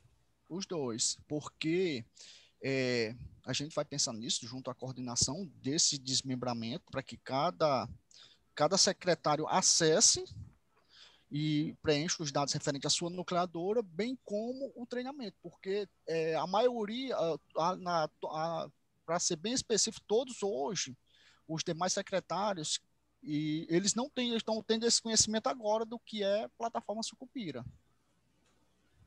Aí, seja, eu vou precisar... falar com a eu, eu vou te passar o contato da Flávia, que é a secretária do Prof. Saúde, e Sim, com relação à questão de cada um ter a senha, ela pode te dizer como é que eles fizeram. Pois assim, é. ficou em cada nucleadora um coordenador e cada um tem uma senha. A é CAPES autorizou especificamente que cada um tem uma senha. Eu vou te uhum. passar uhum. o contato da Flávia e ela resolve isso com você. Pelo menos parte a gente já, já resolve uhum. por aí. Tá? Perfeito, tá ótimo. Tá ok, obrigado, viu? Nada. Mais alguma dúvida, gente? Alguma questão? Vivi, acho que a gente pode só retomar lá na tela inicial e também tem, enquanto você gira aí, foi só colocar aqui, ó. É, como ver as pendências, o que está preenchido errado? Ah, isso é em verificação de erros. É, alguém tinha, já vou, vou falar sobre a verificação de erros, tá, gente? Já vou para lá. Na verdade, eu queria deixar a verificação de erros por último, Tá, então tem uma, tem uma, pendência, uma dúvida da Zaira. As publicações que os professores têm que indicar já é agora na plataforma ou para o módulo futuro? As produções em destaque que ela está falando, para o módulo futuro. Do que se o docente for indicar, por exemplo. A partir de abril, né, Vivi? Isso. Se o docente indicar, eu já mandei e-mail solicitando, porque se o docente indicar produções mais relevantes um livro uma produção técnica no período de 2017 e 2019, você tem que complementar agora. Lá em abril, você não vai poder complementar essas informações dessa produção, entendeu? Então, por isso que isso, na verdade, você tem que solicitar agora. Porque se ele fizer alguma indicação e essa produção não tiver ali de forma complementar, de forma. Porque às vezes acontece, ele indica, ai, você viu, caramba, mas isso não tem no latideiro, eu vou ter que cadastrar. Entendeu? Então, assim, a gente está fazendo essa solicitação agora por conta dessa complementação. Mas se o programa é organizado a ponto de saber que todas as produções né, dos docentes que estão no LAT estão no Sucupira, você não precisa se preocupar com isso agora. Você vai se preocupar com isso depois, em 2020, quando começar, e você começa a solicitar para eles. Porque você sabe que o teu Sucupira está redondinho que os professores é, alimentam Lattes de forma, né, te informaram, tipo, atualizou alguma coisa e informou, ou então também o programa pode solicitar adequação do professor, por exemplo, ele não informou, a gente não fica olhando Lattes docente o tempo todo, aí ele colocou, aí lá quando você solicitar a produção em destaque, ele está indicando uma produção que não tem no seu sucupeira. Você fala, professor, na época, quando coletamos essa produção não estava, a favor de escolher outra produção. É uma forma de resolver o problema também, tá? É um caminho. É, gente, aqui embaixo do, do é, na plataforma tem os relatórios. Consultem esses relatórios, tem muitas, muitas informações que são relevantes para vocês até destacarem na proposta do programa. Os coordenadores utilizam muito essa, esses relatórios para enfatizar, por mais que o avaliador ele entre ali tenha acesso essa informação, a gente pode enfatizar algumas informações preciosas para a avaliação do programa, destacá-las. Então, é válido reforçá-las na proposta. Principalmente esse relatório de conferência do programa. Aqui você tem como tirar o Excel, gerar planilha Excel de várias formas, de várias informações do programa, tá? Então, assim, esse relatório é o que mais ajuda. Esse relatório Qualis, lembrando que ele está desatualizado, né? Ele não tem as informações é, do Qualis novo, vai estar a informação para trás, tá? E alguém me perguntou tem alguma pergunta, Monique? Posso seguir? Pra... Tem, Zaira está perguntando, mas tem que já preencher os questionários, certo? A complementação, Zaira, é isso? É a complementação que ela está falando, a ficha de complementação? Sim, a ficha de complementação já tem que estar tá ok. Essa, a Isso mesmo. Desculpa, Vivi. Fale, é isso mesmo, é isso mesmo, a ficha de complementação. Já isso. tem que estar no sistema, que depois eu não consigo, né? Depois okay. você não, você só vai conseguir de 2020, dos anos anteriores não. Tem que estar lá tudo okay. certinho e complementado, entendeu? Já lá okay. no Vivi, vamos Vamos fechar com o relatório de erros? Ah, não, mas o professor perguntou sobre as produções mais relevantes. Como é que ele faz? Eu vou ter que entrar para mostrar. Como é que ele faz para poder excluir. Ah, foi, acho que ele foi até colocou aqui que precisou ele sair. Saiu. Ele colocou ah, precisou sair que ele está numa banca. Ele saiu ah, agora. Então eu vou, eu vou para a produção de erros. Depois a gente.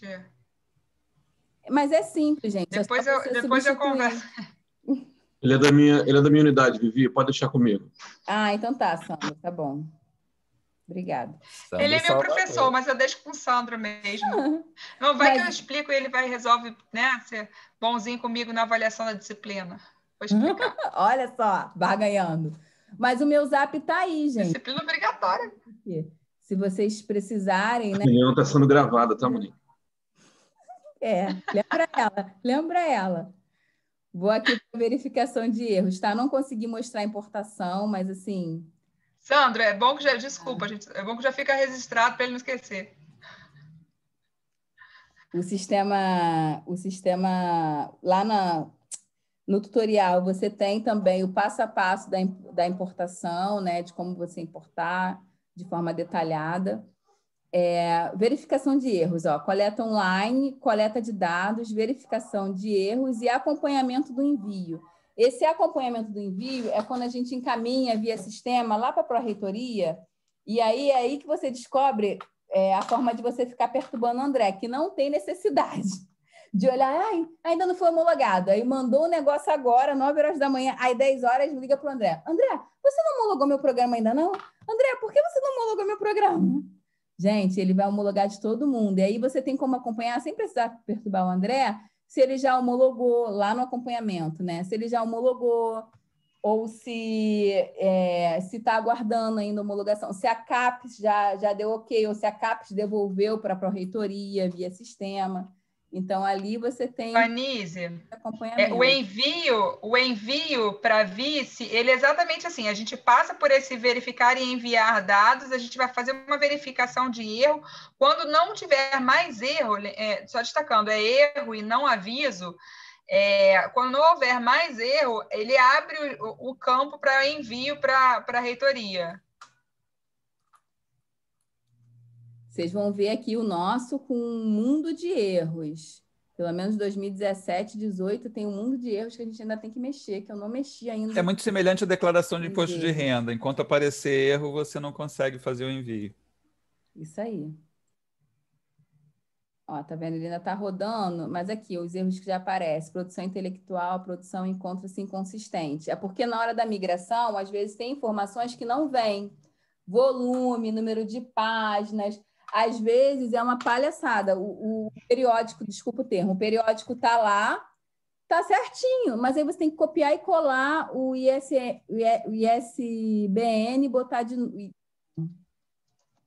ISSN, ISBN do livro, ISSN, colocar de novo, que aí ele deixa você salvar. Aí você fica, gente, que inconsistência é essa? Tá tudo preenchido. É isso, tá? É o título do periódico, você tem que ir lá, copiar e colar, e aí o sistema deixa você caminhar. E aí tem várias informações aqui que você vai vendo. Tem como você clicar aqui e ir é, para o periódico, ou também você pode abrir, ficar com duas telas, como eu falei, com essa parte da verificação de erro, abre uma outra tela do Sucupira ao lado, vai aqui, clica com direito, abre nova guia. Você abre uma nova guia e aí, por exemplo, ah, eu vou mexer na verificação de erros. Ai, tirei o, o compartilhamento, desculpa.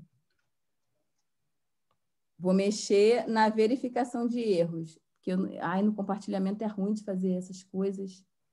Jogou o negócio lá para cima, eu não consigo mexer. Ah, tá. Você, eu não consigo diminuir aqui a minha tela. Eu teria que abrir uma, um, um, né, um outro.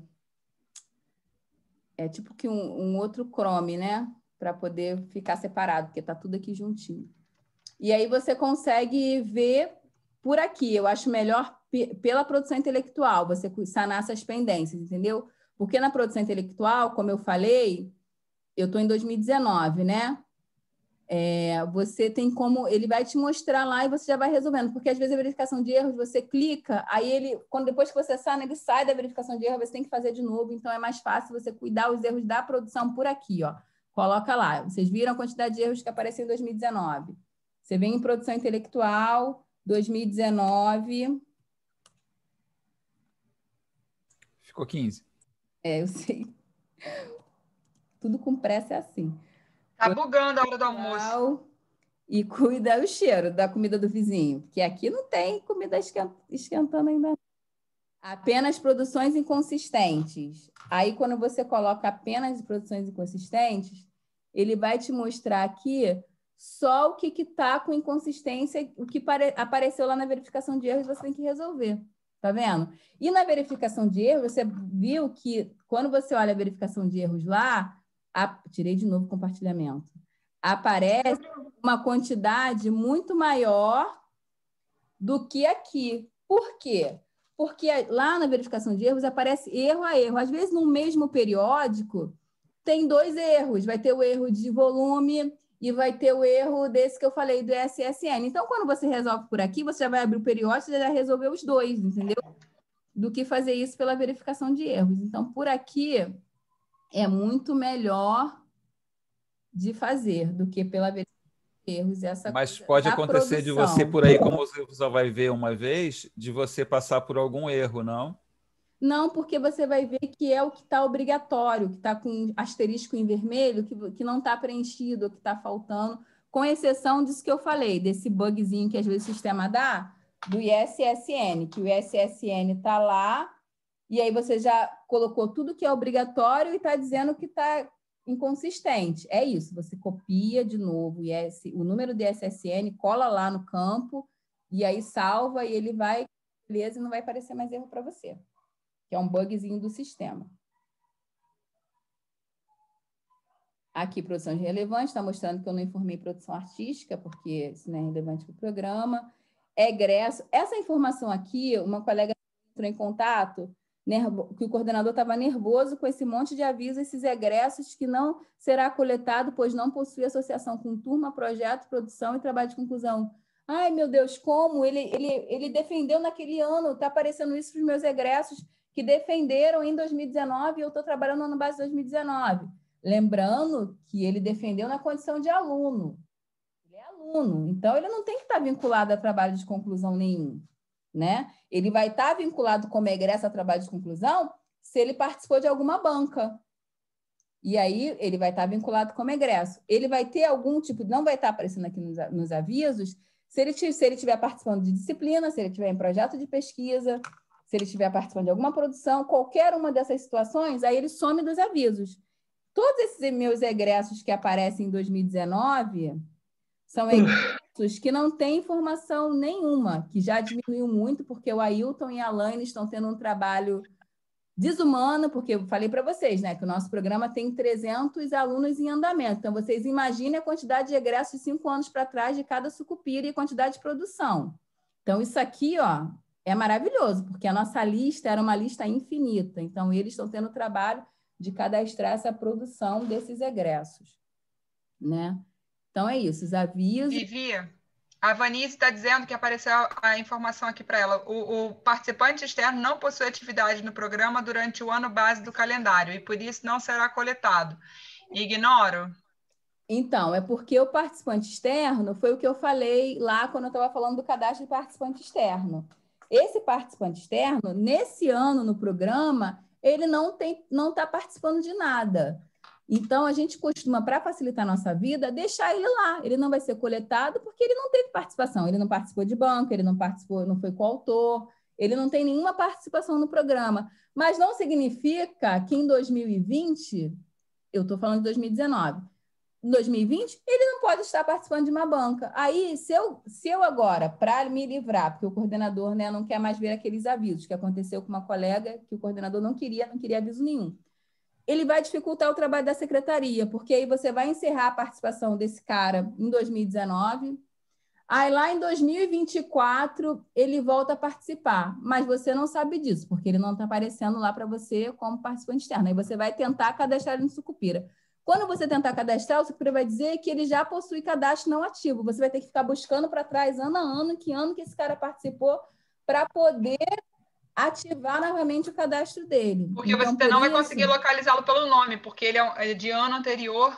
É, exatamente. Então, por isso que eu oriento a sempre deixar em aberto. Esse aviso você desconsidera, não é um aviso importante.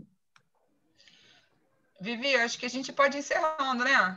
Tem Sim, algo mais? Só, não sei se tem mais alguma dúvida, alguém? Sobre mais alguma dúvida? Podemos, você vai dar uma. Alguém tem, alguém tem mais alguma dúvida, alguma coisa que, que precisa esclarecer?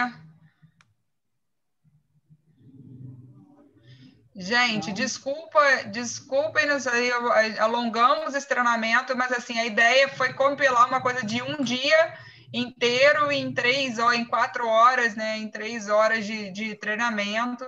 A gente tentou deixar isso mais é, compilado possível. E, e, é isso, foi isso que a Vivi falou. Assim, as dúvidas que surgirem, vocês podem, se vocês acharem que é, são muitas dúvidas, podem acionar. É, André, e aí a gente tenta, a gente tenta suprir isso. E também a gente está disponível. Por WhatsApp, já colocamos aí no, no, os nossos números disponíveis, a gente vai também disponibilizar a apresentação, a apresentação da Vivi, os documentos, tudo isso a gente pode tentar disponibilizar lá o treinamento do, do, do que a gente teve do da plataforma, o André vai disponibilizar lá, então, assim, acho que dá para a gente, junto com o manual, acho que dá para a gente suprir um pouco dessa necessidade inicial que a gente tem. E também a gente pode, é, se vocês virem que a gente tem que, é, que, muitas dúvidas ainda estão surgindo a partir dessas novidades que tem na plataforma, também acionem, porque aí para 2020 a gente, talvez a gente tenha mais tempo. Sim, sim, pra, até para estar tá dando. Mas a gente está disponível Zap, né?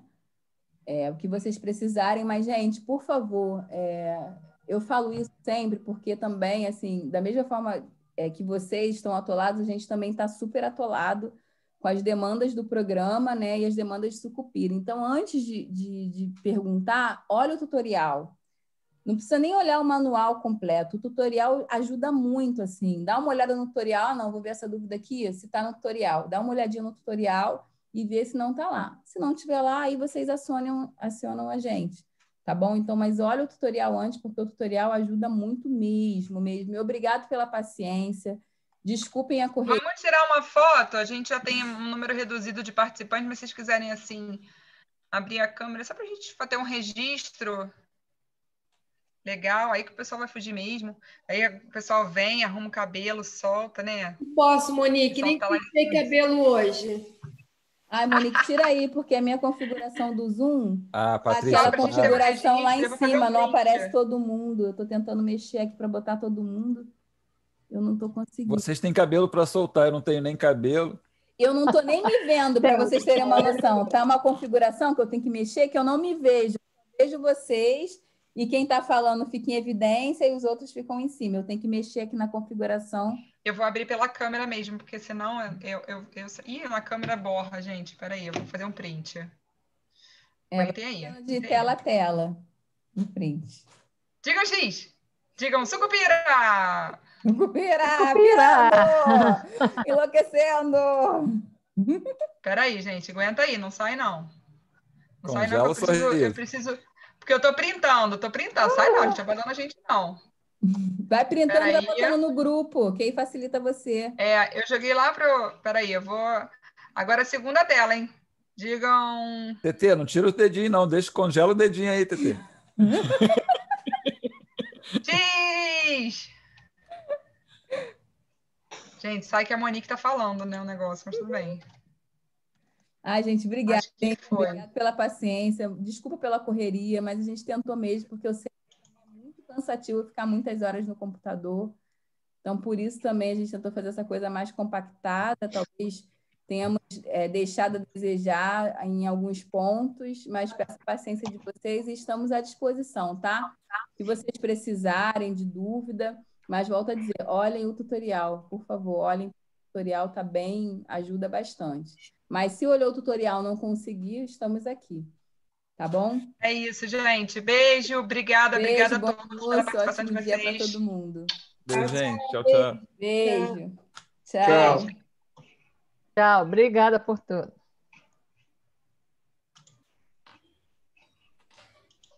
Tchau, obrigada, Vivi. Obrigado vocês. Obrigado pelo carinho, pela paciência.